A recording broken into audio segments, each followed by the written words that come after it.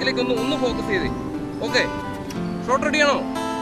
Shot ready start camera action ബ്രിട്ടീഷുകാരൻ തീർത്ത ഈ ഉരുക്ക് ശക്തിയെ മറികടന്ന് ദാരിദ്ര്യത്തിന്റെയും പട്ടിണിയുടെയും അറുതിയും വറുതിയും തീർന്ന കുടിയേറ്റ കർഷകന്റെ ആത്മാവുറങ്ങുന്ന മണ്ണിലേക്ക് കനലുകടാത്ത അവന്റെ വിശ്വാസശക്തിയെ അനുഭവിച്ചറിയാൻ ഇവിടെ തുടങ്ങട്ടെ ഈ യാത്ര.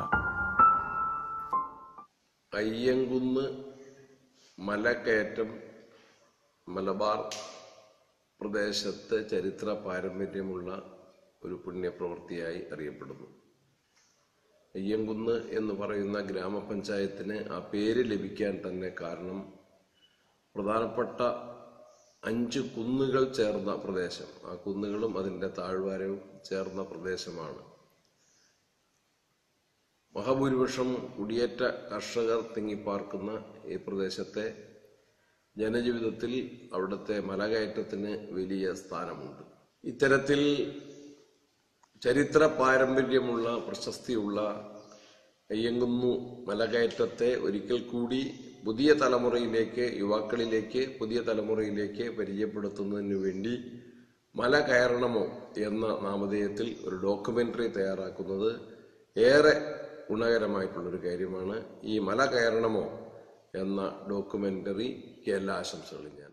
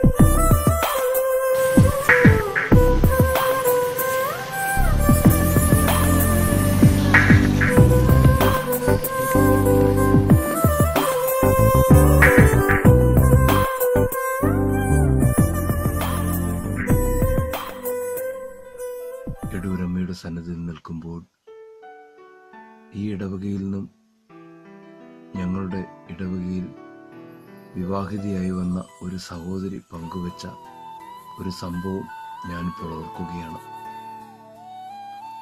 എലിപ്പനി മൂർജിച്ച് പരിയാരം മെഡിക്കൽ കോളേജിൽ അഡ്മിറ്റ് ചെയ്യപ്പെട്ട ആ സഹോദരി തന്റെ രോഗസൗഖ്യത്തിനായിട്ട് ഉള്ളൊരുകി എടൂരമ്മയെ വിളിച്ച് അപേക്ഷിച്ചു.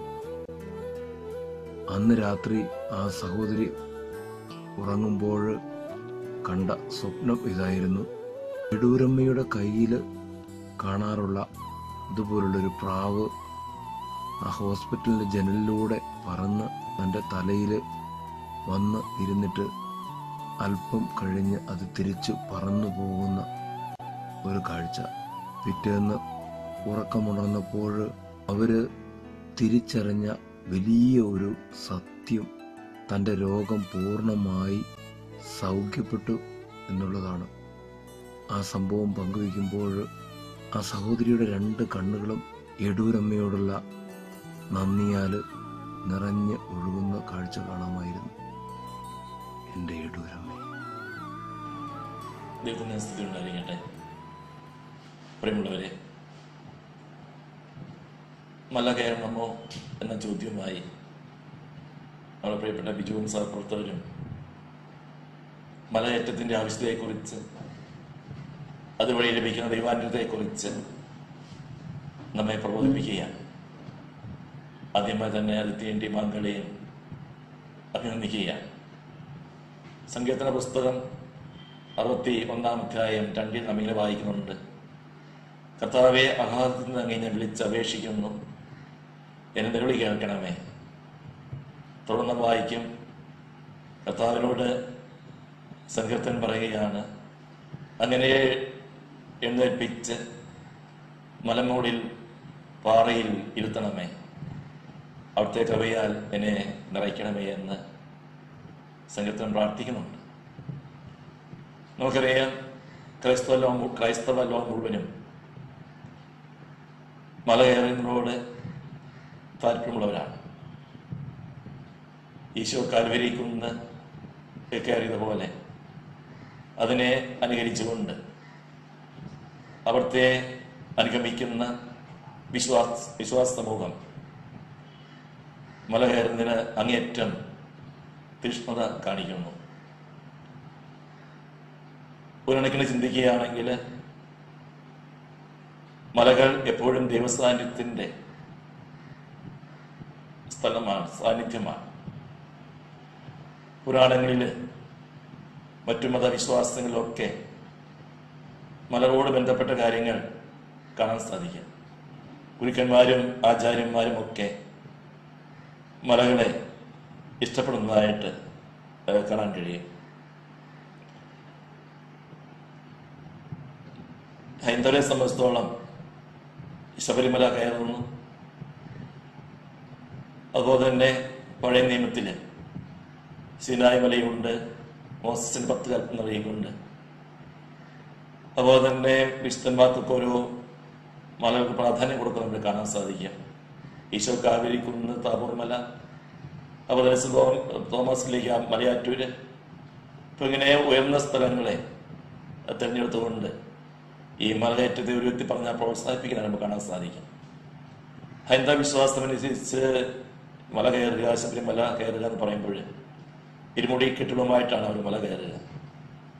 ചെറിയ കെട്ടിൽ തങ്ങളുടെ സുഹൃതങ്ങളും വലിയ കെട്ടിൽ പാപ പാപങ്ങളുമായിട്ട് അത് മല കയറുന്നു. അതിന് ഫലമായി മല കയറി കഴിഞ്ഞാൽ പാപത്തും പാപങ്ങളും വിടുതലും മോചനം ലഭിക്കുമെന്ന് വിശ്വസിക്കുന്നുണ്ട്. തീർച്ചയായിട്ടും പാരമ്പര്യമാണിത് നമ്മുടെ വിശ്വാസം ഇതാണ്. മല കയറുമ്പോൾ നമ്മുടെ പാവങ്ങളുടെ പ്രായച്ചിത്തമായി പരിഹാരമായി നമ്മെ ശുദ്ധീകരിക്കുകയാണ്. ശുദ്ധീകരിച്ചുകൊണ്ട് വിശുദ്ധിയിലേക്ക് കടന്നുവരുന്നു യേശുവടുത്ത് നമ്മുടെ ജീവിതത്തെ നമ്മൾ സമർപ്പിക്കുകയുമാണ് ദൈവ സായുജ്യം നമ്മൾ പ്രാപിക്കുകയാണ് ഈ ജൈനമതത്തിൽ ഒരു സംഭവം ഒരു കഥയുണ്ട്. ജനമതക്കാരുടെ നേതാവായിരുന്ന ബാഹുബലി രാജാവായിരുന്നു അദ്ദേഹം. രാജ്യം മുഴുവൻ കീഴടക്കി കീഴടക്കിയിട്ട് ചേട്ടന്റെ സ്വന്തം സഹോദരന്റെ രാജ്യം കീഴടക്കി പക്ഷെ അതിന് ഉറക്കം നഷ്ടപ്പെട്ടു. ഭൗതിക നേട്ടങ്ങൾ. അദ്ദേഹത്തിന് മനസമാധാനം നഷ്ടപ്പെടുത്തി. അവസാനം അദ്ദേഹം എല്ലാം തിരിച്ചു കൊടുത്തുകൊണ്ട് രാജ്യവും എല്ലാം ഉപേക്ഷിച്ച് അധികാരങ്ങൾ ഉപേക്ഷിച്ച് അദ്ദേഹം തപസ് ചെയ്യാൻ ആരംഭിച്ചു. തപസ് ആരംഭിച്ചപ്പോൾ അദ്ദേഹത്തിന് ദൈവപ്രസാദം കിട്ടിയില്ല. ആരോ പറഞ്ഞതനുസരിച്ച് ഉയർന്ന മലയിലേക്ക് അദ്ദേഹം പോകുന്നുണ്ട്. ഉയർന്ന മലയിൽ പോയി അദ്ദേഹം തപസ് ചെയ്തപ്പോൾ വർഷങ്ങളോളം തപസ് ചെയ്തിട്ടും ദൈവ അനുഭവം വരാത്തിന്റെ പേരിൽ അത് വിഷമിക്കുമ്പോൾ ദൈവത്തിന്റെ ദൂത് ലഭിക്കുന്നുണ്ട്. നീ വസ്ത്രം ഉപേക്ഷിക്കാൻ. അങ്ങനെ ദിഗംബരനായി. ദിഗംബരനാകുമ്പോൾ എട്ട് ദിക്കുകളെ അത് ധരിക്കുകയാണ്. എട്ട് ദിക്കുകൾ ലോകത്തിൽ മുഴുവൻ. ഇത് തന്നെയാണ് കാലുവയ്ക്കുന്നിൽ ഈശോ വസ്ത്രം അവിടത്തേക്ക് വസ്ത്രം അഴിച്ചു മാറ്റുമ്പോൾ വിവസ്ത്രമാക്കപ്പെടുമ്പോൾ അദ്ദേഹം ഈ ലോകം മുഴുവന്റെയും അധികാരിയായി ദൈവമായിട്ട് കർത്താവായിട്ട് മാറ്റപ്പെടുകയാണ്. അപ്പോൾ തീർച്ചയായിട്ടും കാൽവരിക്കുന്നിൽ ദൈവാനുഭവത്തിന്റെ ദൈവാനുഭവത്തിലേക്ക് ഈശോ കടന്നു വന്നതിന്റെ ആ മാതൃക തന്നെയാണ് നമ്മൾ ഈ മല കയറുന്നതിലൂടെ വ്യക്തമാക്കുക. അവിടെ ത്യാഗമുണ്ട് സഹനമുണ്ട് കഷ്ടപ്പാടുകളുണ്ട് ദുരിതങ്ങളുണ്ട് മല കയറുമ്പോൾ ഒത്തിരി വിയർപ്പും ഒത്തിരി ത്യാഗവും സഹനവും ഇത് ജീവിതയാത്രയിലുണ്ടാകുമ്പോൾ ഒക്കെ യാത്രക്കാരാണ് സ്വർഗത്തെ ലക്ഷ്യം വെച്ചുകൊണ്ട് യാത്ര ചെയ്യുന്നവരാണ് സ്വർഗ സൗഭാഗ്യം. ഈ യാത്രയിൽ നമുക്ക് ദുഃഖങ്ങളുണ്ട് ദുരിതങ്ങളുണ്ട് വേദനകളുണ്ട്. പാപപുണ്യങ്ങളുടെ ഭാരമുണ്ട്. പാപത്തിന്റെ ഭാരം. മലകരങ്ങളോടുകൂടി നമുക്ക് പരിഹാരമാവുകയാണ്. നമ്മെ തന്നെ വിസ്മരിച്ചുകൊണ്ട് ത്യാഗത്തിന്റെ ജീവിതം നമ്മൾ തിരഞ്ഞെടുക്കുകയാണ്. അവിടെ ചെന്ന് കഴിയുമ്പോൾ വലിയ അനുഭവമാണ് നമുക്കുണ്ടാകുന്നത്. തീർച്ചയായിട്ടും പ്രകൃതി മനുഷ്യൻ ഈ രണ്ട് കാര്യങ്ങൾക്കാണ് അപ്പം മല പ്രാധാന്യം കൊടുക്കുക. കാരണം പ്രകൃതി തുറന്ന പുസ്തകമാണ് ദൈവത്തെ കണ്ടെത്താനുള്ള പുസ്തകം. അതുപോലെ മനുഷ്യരെ ധ്യാനിക്കുമ്പോഴാണ് നമുക്ക് സ്നേഹത്തിന്റെ മനോഭാവം ഉണ്ടാവുക. പ്രകൃതിയെ നിരീക്ഷിച്ച് നമുക്ക് കാണാൻ സാധിക്കും. പ്രകൃതിയിൽ ഒരു മൃഗവും മുറിവേറ്റതായിട്ട് നാം കാണുകയില്ല. മൃഗങ്ങൾക്ക് മുറിവേറ്റ് പറ്റിയിട്ടുണ്ടെങ്കിൽ അവയ്ക്ക് പെട്ടെന്ന് സുഖവും കിട്ടുന്നുണ്ട്. മനുഷ്യൻ മാത്രമേ മുറിവ് പറ്റിയതായിട്ട് കാണുന്നുള്ളൂ. അപ്പോൾ മനുഷ്യൻ ബന്ധത്തെ സ്നേഹിക്കുമ്പോൾ പരിസ്ഥിതികളെ സ്നേഹിക്കുമ്പോൾ അതുപോലെ ദൈവത്തെ മഹത്വപ്പെടുത്തുമ്പോൾ അവന് സൗഖ്യം കിട്ടുകയാണ് മുറിവുകൾ സുഖപ്പെടുകയാണ്. വിശുദ്ധ അഗിസ്വസിന്റെ വാക്കുകളിൽ പറഞ്ഞാൽ അവൻ മല കയറുന്നവന് മലയ്ക്ക് മുകളിൽ വെച്ച് വിസ്മം വിസ്മം കിട്ടുന്നു. അവൻ ദൈവത്തെ കാണുന്നു കാണുന്നതിനെ സ്നേഹിക്കുന്നു സ്നേഹി സ്നേഹിക്കുന്നതിനെ സ്തുതി സ്തുതിക്കുന്നു മഹത്വപ്പെടുത്തുന്നു. മലകയറ്റത്തിലൂടെ നവീകരണം സാധിക്കുകയാണ്. ഈശോ കലവരിക്കുന്നില്ല യാഗമായി ബലിയായി തീർന്നു ദേവിതാവിന്റെ കരങ്ങളിൽ ജീവനെ സമർപ്പിച്ച പോലെ പുതിയ വ്യക്തികളായിട്ടാണ് മല കയറി തിരിച്ചു വരുന്ന ഓരോ വ്യക്തിക്കും സംഭവിക്കുന്നത്. തീർച്ചയായിട്ടും മലകയറ്റം ത്യാഗത്തിന്റെ വഴികളാണ്. ഒരു വ്യക്തിയെ തിരഞ്ഞെടുക്കേണ്ട വഴി നമുക്കറിയാം. ചുറ്റുപാട് നോക്കുമ്പോൾ പല സ്ഥലങ്ങളിലേക്കും മനുഷ്യൻ മല കയറാൻ വേണ്ടി പോകും. മലയാറ്റൂരും അപ്പോൾ മാന്തവാടി ചുരവും ഒക്കെ കയറാറുണ്ട്. തീർച്ചയായിട്ടും നമുക്ക് ഏറ്റവും അടുത്തുള്ള അയ്യങ്കുന്നമല ഒത്തിരി ദിവാനുഗ്രഹത്തിന്റെ സ്ഥലമാണ്. ഒരു കാലഘട്ടത്തിൽ എടൂര് മേഖലയിലെ ഏറ്റവും പ്രധാനപ്പെട്ട മലകയറ്റം. ഒത്തിരി പേർക്ക് ദൈവാൻ എനിക്ക് തോന്നുന്നത് ഇന്നത്തെ ഈ പുരോഗതിയുടെയും ഐശ്വര്യത്തിനെല്ലാം കാരണം മല കയറുന്ന സമൂഹം അയ്യങ്കുന്ന മലയിൽ ദൈവസാന്നിധ്യത്തിന്റെ സ്ഥലം അത് ഫലമായിട്ടാണ് നമുക്ക് ഒത്തിരി ഒത്തിരി വളർച്ചകൾ കൈവന്നിട്ടുള്ളത്. തീർച്ചയായിട്ടും പ്രോത്സാഹിപ്പെടേണ്ട കാര്യമാണ്. ഒരു വ്യക്തിയുടെ സ്വാർത്ഥതകളും തന്നിഷ്ടങ്ങളൊക്കെ ഇല്ലാതാക്കിക്കൊണ്ട് പാവം തന്റെ ജീവഭാരമാണ് കുരിശം വഹിച്ച് യേശുവിനെ അനുഗമിക്കുന്നത് വഴി ഈശ്വര വാക്കുകളാണ് ഇവിടെ അന്വർത്ഥമാവുക. എന്നെ അനുഗമിക്കാൻ ആഗ്രഹിക്കുന്നവൻ സ്വയം പ്രതി തന്റെ കുരിശം എടുത്തുകൊണ്ട് എന്നെ അനുഗമിക്കട്ടെ എന്ന് അതിവിടെ പൂർത്തിയാവുകയാണ് അനർത്ഥമാവുകയാണ് ഇത് പിന്നെ പ്രവർത്തകർ എല്ലാവർക്കും നന്മകൾ നേരുന്നു. ഇത് മലകരുന്ന എല്ലാവർക്കും ദൈവാനുഗ്രഹം സമർത്ഥമായി ലഭിക്കട്ടെ എന്ന് പ്രത്യേകം പ്രാർത്ഥിച്ചുകൊണ്ട് ഇതിന്റെ പ്രവർത്തകർ എല്ലാവരെയും കൃത്യമായി അഭിനന്ദിച്ചുകൊണ്ട് എല്ലാവർക്കും ആശംസകൾ.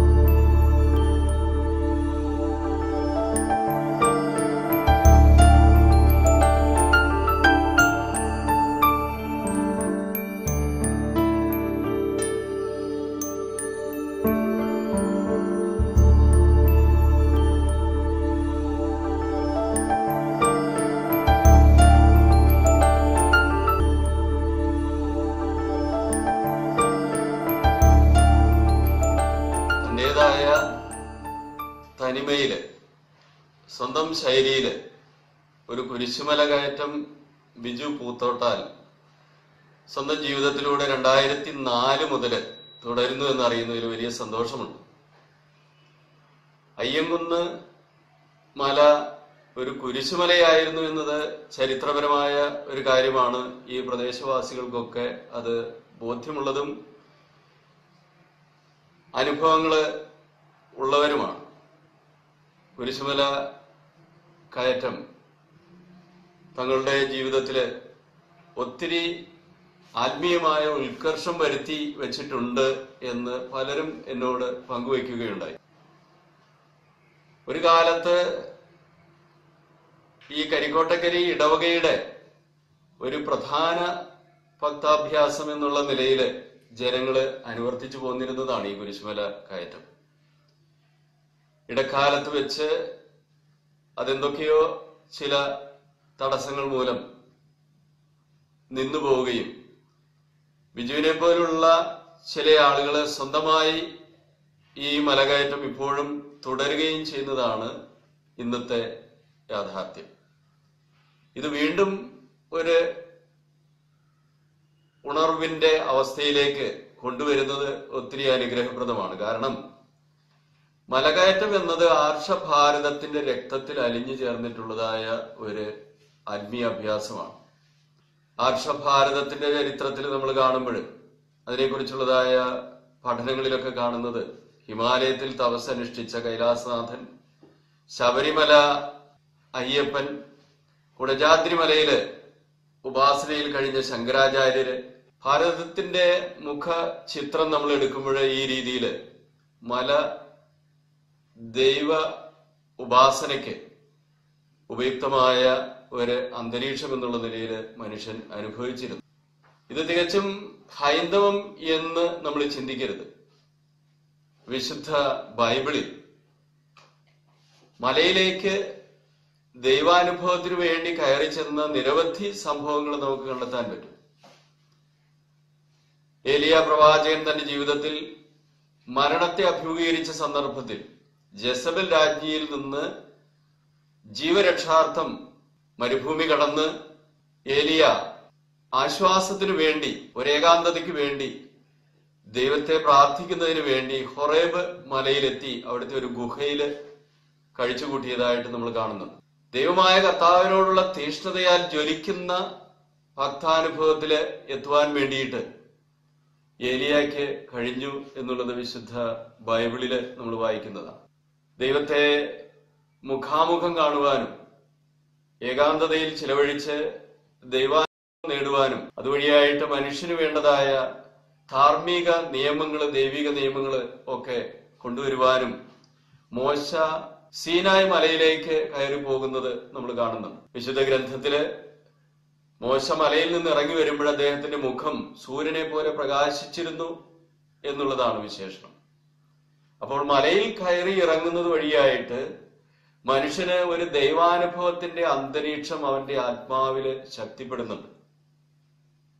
അത് തികച്ചും മനുഷ്യന്റെ ആത്മാവുമായിട്ട് ഒത്തിരി ബന്ധമുള്ള ഒന്നാണ് എന്ന് നമുക്ക് കണ്ടെത്താൻ കഴിയും. അബ്രാഹം ഇസഹാക്കിനെയും കൊണ്ട് മോറിയാമലയിലേക്ക് ബലിയർപ്പണത്തിനായിട്ട് പോകുന്നത് നമ്മൾ കാണുന്നുണ്ട്. അവിടെ ദൈവത്തിന്റെ പ്രത്യേക ദൂതൻ പ്രത്യക്ഷപ്പെട്ട് അബ്രാഹത്തിന്റെ ആ ഉദ്യമത്തിന് വേണ്ടതായ ദൈവികമായ നിർദ്ദേശങ്ങൾ കൊടുത്ത് അതിനൊരു പരിസമാപ്തി ഇതിലെത്തിക്കുവാൻ വേണ്ടിയിട്ട് ഇടവരുന്നുണ്ട്. അപ്പൊ നമ്മുടെ ഏത് കിറാമുട്ടിയും ദൈവസന്നിധിയിലേക്ക് എടുത്തു വെച്ച് അതിനൊക്കെ പരിഹാരം കണ്ടെത്തത്തക്ക രീതിയിൽ ആശ്വാസത്തിന്റെ ഒരു കിരണം സ്വീകരിക്കുവാൻ വേണ്ടിയിട്ട് ഈ മലകയറ്റങ്ങൾ പലപ്പോഴും മനുഷ്യൻ ഒരു തരത്തിൽ അല്ലെങ്കിൽ മറ്റൊരു തരത്തിൽ സ്വന്തം അനുഭവത്തിലേക്ക് വരുന്ന ദൈവിക സ്പർശമാണ്. ഈശോ കാൽവരി മലയിലേക്ക് കുരിശും ചുമന്നുകൊണ്ട് കയറുന്നത് നമ്മൾ കാണുന്നുണ്ട്. മനുഷ്യന്റെ പാപ പരിഹാരാർത്ഥം ദൈവം പോലും കണ്ടെത്തിയ ഒരു വേദി ഈ മലകയറ്റമാണ്. തോമസ് ലീഹ തന്റെ ജീവന് ഭീഷണി വന്നപ്പോൾ സുവിശേഷ പ്രഘോഷണം ഭാരതത്തിൽ ഒത്തിരി പ്രതിസന്ധികളിൽ അദ്ദേഹം അതിന് തുടരാൻ പറ്റാത്തൊരവസ്ഥ വന്നപ്പോൾ തന്റെ പ്രശ്ന പരിഹാരാർത്ഥം മലയാറ്റൂർ മലയിൽ ചെന്ന് പ്രാർത്ഥിക്കുകയും മാതാവ് പ്രത്യക്ഷപ്പെടുകയും ഈശോയെ പ്രസംഗിക്കുന്നതിന് വേണ്ടിയിട്ടുള്ളതായ പ്രചോദനങ്ങൾ മാർഗനിർദ്ദേശങ്ങൾ തോമാശ്രീയായിക്ക് കൊടുക്കുകയും ചെയ്തു എന്നുള്ളതാണ് മലയാറ്റൂർ മലകയറ്റത്തിന്റെ ഉള്ളിൽ ഒളിഞ്ഞു കിടക്കുന്നതായ രഹസ്യം. അപ്പോൾ മനുഷ്യന്റെ പ്രശ്നങ്ങൾക്ക് പരിഹാരം കിട്ടുവാൻ വേണ്ടിയിട്ട് മനുഷ്യന്റെ പാപങ്ങൾക്ക് പരിഹാരം തേടുവാൻ വേണ്ടിയിട്ട് ആത്മീയമായിട്ടുള്ള ഉത്കർഷം നേടുവാൻ വേണ്ടിയിട്ടൊക്കെ മനുഷ്യൻ മലമുകളിലേക്ക് കയറുന്നുണ്ട്. മലമുകളിൽ നിൽക്കുമ്പോൾ മുകളിലൂടെ കടന്നു പോകുന്ന മേഘങ്ങളെ നമുക്ക് കാണുവാൻ പറ്റും. മലമുകളിൽ നിൽക്കുന്ന മനുഷ്യന്റെ ശിരസിനെ തൊട്ട് കടന്നു പോകുന്ന മേഘങ്ങളും അതിന്റെ ഛായകളും തണലുകളും ഒക്കെ നമുക്ക് അനുഭവവേദ്യമാണ് അത് സ്വർഗത്തിലേക്ക് ഏറ്റവും അടുത്ത് നിൽക്കുന്ന പ്രതീതിയാണ് ഓരോ വ്യക്തിയിലും ജനിപ്പിക്കുക. അതുകൊണ്ട് തന്നെ തന്നെ മലമുകളിലെ ആ ഏകാന്ത അന്തരീക്ഷം ദൈവികമായ അനുഭവമായിട്ട് തീരുകയാണ്. മലമുകളിലേക്ക് കയറുമ്പോൾ താഴെ നിന്നും മുകളിലേക്ക് വരുന്ന ഉയർന്നുയർന്ന് ഉന്നതങ്ങളിലേക്ക് എത്തുന്ന ഒരു ആത്മീയ വളർച്ചയുടെ ഉയർച്ചയുടെ അനുഭവമൊക്കെ മനുഷ്യന് ഉണ്ടാകും. മല കയറുമ്പോൾ ശരീരത്തിനും മനസ്സിനും അയവ് തോന്നും. ഭാരങ്ങൾ കുറയുന്നതായിട്ട് തോന്നും. പാപങ്ങൾക്ക് പരിഹാരമായിട്ടൊക്കെ മനുഷ്യനത് ആശ്വാസമരുന്നു മല കയറുമ്പോൾ ദൈവത്തിലേക്ക് അടുക്കുന്നത് പോലെ തോന്നും. ഈ ജീവിത ഭാരത്തിന്റെ മാറാപ്പ് താഴെ വെച്ച് ദൈവത്തിലേക്ക് നടന്നു കയറുന്ന ഒരു അനുഭവമാണ് പലപ്പോഴും മല കയറുന്ന ഭക്തന് ഉണ്ടാകുന്നത്. ഈ കരിക്കോട്ടക്കരി കേന്ദ്രീകരിച്ച് അയ്യങ്കുന്ന് മല കയറ്റം. ഇനിയും വളർത്തിയെടുക്കേണ്ട ഈ പ്രദേശത്തുള്ള ആളുകൾക്ക് എന്ന് മാത്രമല്ല പുറമേ നിന്ന് ഉള്ള നിരവധി ആളുകളെ ആകർഷിക്കുന്ന വലിയ ആത്മീയമായ ശക്തി പ്രദാനം ചെയ്യാൻ കഴിവുള്ള ഒന്നാണ് മല കയറണമോ എന്ന് ഒരു ചോദ്യം നമ്മുടെ മുന്നിൽ നിൽക്കുകയാണെങ്കിൽ അതിന്റെ ഉത്തരം തേടി നമ്മൾ ഒത്തിരി അലയേണ്ട ആവശ്യമില്ല. അത് വീണ്ടും പുനർജീവിപ്പിക്കുവാൻ വേണ്ടിയിട്ടുള്ളതായ അവസ്ഥകളിലേക്ക് ബിജുവിനെ പോലുള്ള ചെറുപ്പക്കാര് ഇറങ്ങിത്തിരിക്കുന്നതിനെ ഓർത്ത് ഒത്തിരി സന്തോഷമുണ്ട്.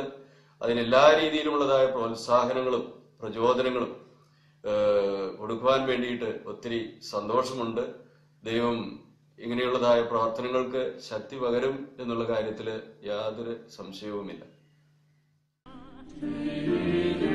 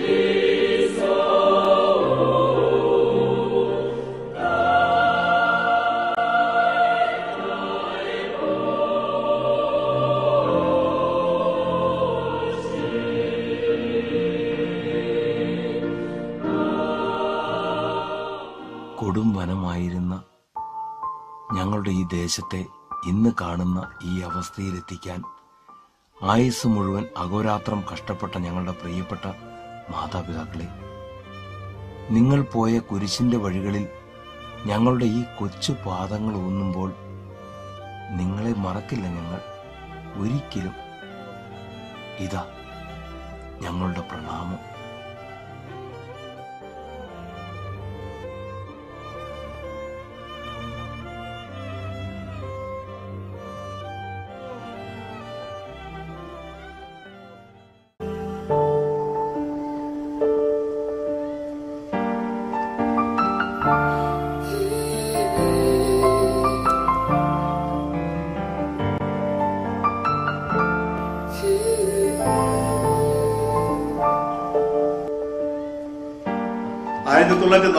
കാലഘട്ടത്തിലാണ് എന്റെ വല്യച്ഛനായ കാവുകൾ ഉലകന്റെ നേതൃത്വത്തിൽ കാവുകൾ ചാക്കോ ഉൾപ്പെടെ ഈ കരിക്കോട്ടക്കരി പ്രദേശത്ത് കുടിയേറ്റം ആരംഭിച്ചത്. അന്നു മുതൽ അവരുടെ വിശ്വാസത്തിന്റെ ഭാഗമായി ഒരു ദേവാലയം നിർമ്മിച്ചു കിട്ടണമെന്നുള്ള അതിയായ ആഗ്രഹത്തിന്റെ ഭാഗമായി ഇടവകയ്ക്ക് വേണ്ടിയിട്ട് സ്വരൂപിച്ച ഫണ്ട് ഉപയോഗിച്ച് പത്തേക്കർ സ്ഥലം മേടിക്കുകയും അതിനോടനുബന്ധമായി ആയിരത്തി തൊള്ളായിരത്തി അമ്പത്തിനാലിൽ നമ്മുടെ അന്നത്തെ രൂപത അധ്യക്ഷനായിരുന്ന തലശ്ശേരി വള്ളോപ്പള്ളി പിതാവിന്റെ നിർദ്ദേശാനുസരണം അമ്പത്തിനാല് ജൂലൈ മൂന്നാം തീയതി ദുഹരാന തിരുനാളിൽ ആദ്യമായി ദിവ്യബലിയുടെ അർപ്പിച്ചുകൊണ്ടാണ് ഈ ഇടവക സമൂഹം ഇവിടെ ഇപ്പോൾ ഈ കാണുന്ന സ്ഥിതിവിശേഷത്തിലെത്തിയത് ആ ഒരു കാലഘട്ടത്തിൽ കുരിശുമല കയറ്റം എന്നുള്ള ഒരു സവിശേഷത പൊതു ഞായറാഴ്ച ഇവിടെ ഒരു പ്രത്യേക അനുഭവം തന്നെയായിരുന്നു. ഞാനും ആ ഒരു കാലഘട്ടത്തിലെല്ലാം മലകയറ്റത്തിൽ പങ്കെടുക്കാറുണ്ടായിരുന്നു. അപ്പോൾ ആ ഒരു പ്രത്യേകത എന്ന് പറഞ്ഞു കഴിഞ്ഞാൽ എന്റെ വെല്ലിച്ചനും എന്റെ അച്ഛനും ഉൾപ്പെടെ നാട്ടിൽ മുകളത്ത് എന്ന പ്രദേശത്ത് ഒരു മലകയറ്റം പൊതു ഞായറാഴ്ചകളിൽ ഉണ്ടായിരുന്നു. അപ്പൊ ആ കുടിയേറ്റം മലബാറിലേക്ക് വരുന്ന സാഹചര്യത്തിൽ പന്ത്രണ്ട് ഞായറാഴ്ച പന്ത്രണ്ട് ഞായറാഴ്ചകളിൽ അനുബന്ധമായിട്ട് അവിടെ മല കയറിക്കൊള്ളാം എന്നുള്ള നേർച്ച നിലനിൽക്കുകയാണ് വല്യ വല്യപ്പനോട് ഉൾപ്പെ ഉൾപ്പെടെ പത്ത് വർഷം കഴിഞ്ഞതിന് ശേഷം മലബാറിലേക്ക് കുടിയേറ്റം ആരംഭിച്ചത്. അതിനുശേഷം രണ്ടു വർഷം ആ കുറവ് നിലനിൽക്കുന്നത് മനസ്സിൽ തട്ടിയത് കൊണ്ടായിരിക്കാം. ആ രണ്ടു വർഷമെങ്കിലും ഇവിടെ ഒരു മലകയറ്റം വേണമെന്നുള്ള ഒരു പ്രചോദനം എന്റെ ചാച്ചന്റെ മനസ്സിൽ ഉണ്ടാവുകയും അതിനോടനുബന്ധമായി അന്ന് സി ജെ വർക്കിച്ചിനെ ഈ വിഷയങ്ങൾ ധരിപ്പിക്കുകയും വർക്കിച്ചനും ചാച്ചനും കാവുങ്കിൽ മത്തായിയും കുഞ്ഞേക്കുട്ടിയും ഉൾപ്പെടെ സി ജെ വർക്കിച്ചിന്റെ നേതൃത്വത്തിൽ മല കയറുകയും അവിടെ മരക്കമ്പുകൾ കൊണ്ട് ഒരു കുരിശ് സ്ഥാപിക്കുകയും ചെയ്തു. തുടർന്ന് വന്ന കാലഘട്ടങ്ങളിലെല്ലാം തന്നെ ഒരു ഞായറാഴ്ച വിവിധ മേഖലകളിൽ നിന്നും വരുന്ന വ്യത്യസ്തരായിട്ടുള്ള മതവിശ്വാസികൾ ഉൾപ്പെടെ ഹിന്ദുക്കളും മുസ്ലിംസും ഉൾപ്പെടെ ഈ പുതിയ ഞായറാഴ്ചകളിൽ ഈ മലകയറ്റം വലിയ ഒരു അനുഭവമായിരുന്നു.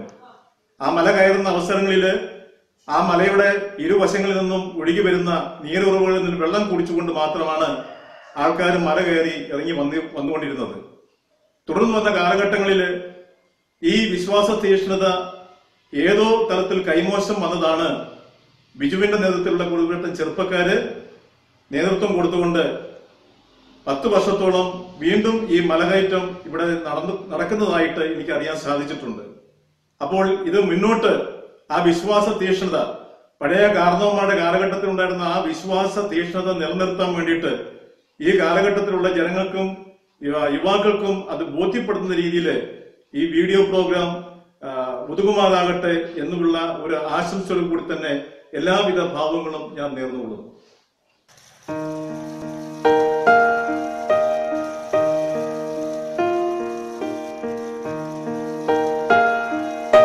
സാറേ. ഹലോ ബിജു. നമസ്കാരം.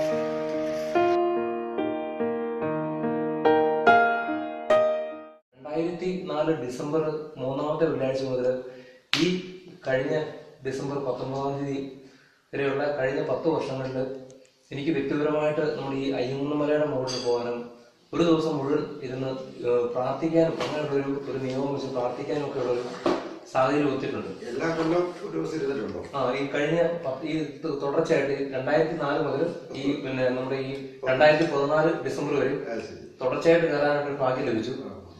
എന്റെ ജീവിതത്തിൽ അത് ഏറ്റവും വലിയൊരു അനുഭവമായിരുന്നു. അപ്പം ഇങ്ങനെ കയറിക്കൊണ്ടിരുന്ന കാലഘട്ടത്തിലൊക്കെ ഇതിന്റെ ഈ നമ്മുടെ ഈ ഇടവകയുടെ ആദ്യ കാലഘട്ടത്തിൽ ഇത് ഒരു കുരിശുമലയായിട്ട് ഉപയോഗിച്ചിരുന്നു എന്നുള്ളൊരു സംഭവം കേട്ടിട്ടുണ്ട്.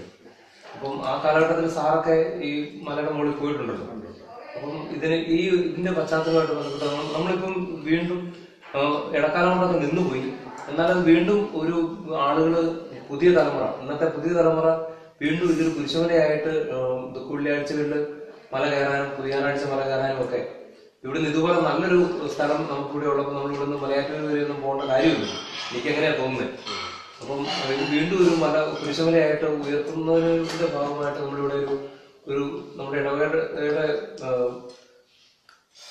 നമ്മുടെ ഇടവക കുടുംബത്തിന്റെ പ്രോത്സാഹനത്തോടു കൂടി തന്നെ നമ്മളൊരു മല കയറണമോ എന്നുള്ളൊരു പേരിൽ ഒരു വീഡിയോ പ്രോഗ്രാം ചെയ്യുന്നുണ്ട്. അതിന്റെ ഭാഗമായിട്ടാണ് ഇന്നിപ്പോ സാറിനെ കാണാൻ വന്നിരിക്കുന്നത് അപ്പം ഇതിന്റെ പശ്ചാത്തലത്തെ കുറിച്ചൊക്കെ സാറിന് പറയാമോ? ഈ മലയെക്കുറിച്ച് പറയുമ്പോൾ എല്ലാ മതവിഭാഗങ്ങൾക്കും മല വളരെ പ്രാധാന്യപ്പെട്ടതാണ്. എല്ലാവരുടെയും ആരാധനാലയങ്ങൾ നോക്കിയുള്ളൂ. ശബരിമലയായാലും പളനി ആയാലും ഹൈന്ദവ പ്രദേശങ്ങളിലൊക്കെയും ഈ മലകൾക്ക് പ്രാധാന്യമുണ്ട്. ക്രൈസ്തവ സഭയ്ക്കും വളരെയധികം പ്രാധാന്യം മലകൾക്കുണ്ട്. ഈ മലകളുടെ പ്രാധാന്യം മനസ്സിലാക്കിയാണ് പലപ്പോഴും സഭയുടെ ദൃശ്യചിഹ്നമായ കുരിശ് ഉയർന്ന സ്ഥലങ്ങളിൽ സ്ഥാപിക്കപ്പെടാറുള്ളത്. പള്ളികളില്ലെങ്കിൽ പോലും നമ്മൾ വഴിയോടെ യാത്ര ചെയ്യുമ്പോൾ ഉയർന്ന സ്ഥലങ്ങളിലൊക്കെ കുരിശുകൾ സ്ഥാപിച്ച് കാണാറുണ്ട്. അങ്ങനെ ക്രിസ്തു ക്രിസ്തുവിനും മലയോട് വലിയ പ്രാധാന്യം ഉണ്ടായിരുന്നു. അദ്ദേഹത്തിന്റെ പ്രധാനപ്പെട്ട കാര്യങ്ങൾ അദ്ദേഹത്തിന്റെ ഉപവാസം അദ്ദേഹം രൂപാന്തരം പ്രാപിച്ചത് ഒക്കെ മലകളിലായിരുന്നു. എന്തിനെ പറയുന്നു? അദ്ദേഹം ജീവത്യാഗം ചെയ്തു. കാൽവരി മലയിലായിരുന്നല്ലോ. അതുകൊണ്ട് സഭയുടെ ഏത് പരിപാടികളിലും മലയ്ക്ക് എപ്പോഴും പ്രാധാന്യം ഉണ്ടാകാറുണ്ട്. ദേവാലയങ്ങളൊക്കെ മിക്കവാറും അല്പം ഉയർന്ന സ്ഥലങ്ങളിൽ സ്ഥാപിക്കപ്പെടുന്നതിന് പിന്നിലും ഈ ചരിത്രപരമായ ഒരു സത്യമുണ്ടെന്ന് മനസ്സിലാക്കുന്നു. നമ്മൾ കരിക്കോട്ടക്കരിയെ സംബന്ധിച്ചിടം പറയുകയാണെങ്കിൽ കരിക്കോട്ടക്കരി നമ്മുടെ ഒരു പുതിയ ജനതയായിരുന്നു. ആയിരത്തി തൊള്ളായിരത്തി നാൽപ്പത്തൊന്ന് നാൽപ്പത്തിരണ്ട് കാലഘട്ടത്തിലാണ് കരിക്കോട്ടക്കരുടെ കരിമണ്ണിലേക്ക് കാവങ്കൽ ഉലകനച്ചേട്ടനും അദ്ദേഹത്തിന്റെ രണ്ട് മക്കളായ ചാക്കോ ചേട്ടനും പാപ്പൻ ചേട്ടനും കൂടി കടന്നു വരുന്നത്. അതിനുശേഷം ഈ പരിപാടി സംഘടിപ്പിക്കുന്ന വിജുവിന് ഇതിനൊന്ന് ആ ഒരു ഒരു- ആത്മീയ ബന്ധമുണ്ടെന്ന് ഞാൻ സൂചിപ്പിക്കട്ടെ. രണ്ടാമത് വന്നത് ഈ ഉലകനച്ചേട്ടന്റെ ഭാര്യയുടെ സഹോദരനായിരുന്ന പൂത്തോട്ടാൽ ചുമ്മാരും ഈ ബിജുവിന്റെ ഗ്രാൻഡ് ഫാദർ ദേവസ്യ ചേട്ടുമായിരുന്നു. അങ്ങനെ കുടിയ മലബാറിന്റെ അല്ലെ കരിക്കോട്ടകളുടെ കുടിയേറ്റ ചരിത്രത്തിൽ ഭൂത്തോട്ടാൾ കുടുംബത്തിന് ഒരു സ്ഥാനം ഉണ്ടെന്ന് ഞാൻ സൂചിപ്പിക്കുകയാണ്. എന്തോ ഭാഗ്യവശാൽ ബിജു ആ കാര്യത്തിൽ മുന്നിട്ടിറങ്ങിയപ്പോൾ ദൈവരിപാലനയുടെ ഒരു അദൃശ്യമായ കരം ഞാൻ അവിടെ കാണുന്നു. അതവിടെ നിൽക്കട്ടെ. കരിക്കോട്ടക്കരി ആയിരത്തി തൊള്ളായിരത്തി നാൽപ്പത് നാൽപ്പത്തിരണ്ട് മുതൽ കുടിയേറ്റം ആരംഭിച്ചെങ്കിലും വ്യാപകമായ കുടിയേറ്റം ഉണ്ടായില്ല. പരിസര പ്രദേശമായ എടൂരാണ് ആളുകൾ കൂടുതലുണ്ടായിരുന്നത് അപ്പൊ എടൂർ കേന്ദ്രമാക്കി ഒരു ആരാധനാലയം ഉണ്ടാകുന്നതിനെ കുറിച്ച് അന്നത്തെ കുടിയേറ്റക്കാർ ആലോചിച്ചു. അന്ന് എടൂരിനും അപ്പുറത്ത് പേരാവൂർ മാത്രമേ ഒരു വൈദിക സാന്നിധ്യം ഉണ്ടായിരുന്നുള്ളൂ. അവിടെ ഒരു കുത്തൂരച്ചനാണ് ഉണ്ടായിരുന്നത്. ഇവിടുത്തെ കുടിയേറ്റക്കാരൊക്കെ കൂടിയും പേരാവൂർ ചെന്ന് ഞങ്ങൾക്ക് ഒരു സൗകര്യം ഉണ്ടാകണമെന്ന് പറഞ്ഞു. അങ്ങനെ കുത്തൂരച്ചൻ ആദ്യമായി എടൂരിൽ വന്ന് ഇന്നത്തെ എടൂർ ചിക്കുന്ന സ്ഥലത്തുമല്ല തോട്ടം പ്രദേശത്ത് ഒരു കുരിശു ഒരു ഒരു ഒരാല സ്ഥാപിച്ച് അവിടെ കുർബാന ചൊല്ലി വർഗീസ് റൈറ്റർ ആയിരുന്നു അതിന്റെ പ്രധാന ചാർജ് വഹിച്ചിരുന്നത്. അതിനുശേഷം കുത്തൂരത്തിന് ശേഷം ഫാദർ സി ജെ വർഗീത്തൻ എടൂരിനെ മാത്രം ചാർജ് വഹിച്ചുകൊണ്ട് എടൂർ വന്ന് താമസമാക്കി. അന്ന് കരിക്കോട്ടക്കരിക്കാർ നടന്ന് എടൂർ പോയി കുർബാന കാണുകയും ആഴ്ചയിൽ ഒരിക്കൽ ദിവ്യബലിയിലും മറ്റ് ഭക്തകൃത്യങ്ങളും പങ്കെടുക്കുകയും ചെയ്തുകൊണ്ടിരുന്നു. അങ്ങനെ ഇരിക്കെ കരിക്കോട്ടക്കിൽ ഒരു കുരിശുപള്ളി സ്ഥാപിച്ചാൽ കൊള്ളാമെന്ന ആഗ്രഹം ഈ കാവെങ്കിൽ ഉലവന ചേട്ടനും പൂത്തോട്ടാൽ കുടുംബത്തിനും അന്നുണ്ടായിരുന്ന ദേമാനിൽ കണ്ടത്തിൽ കുടുംബാംഗങ്ങളും കൂടെ ചേർന്ന് ഈ വർക്കച്ചനെ കണ്ടു. വർക്കച്ചനെ കണ്ടപ്പോൾ വർക്കച്ചൻ പറഞ്ഞു ഞാൻ അടുത്ത ദിവസം കോഴിക്കോട് പോകുന്നുണ്ട്.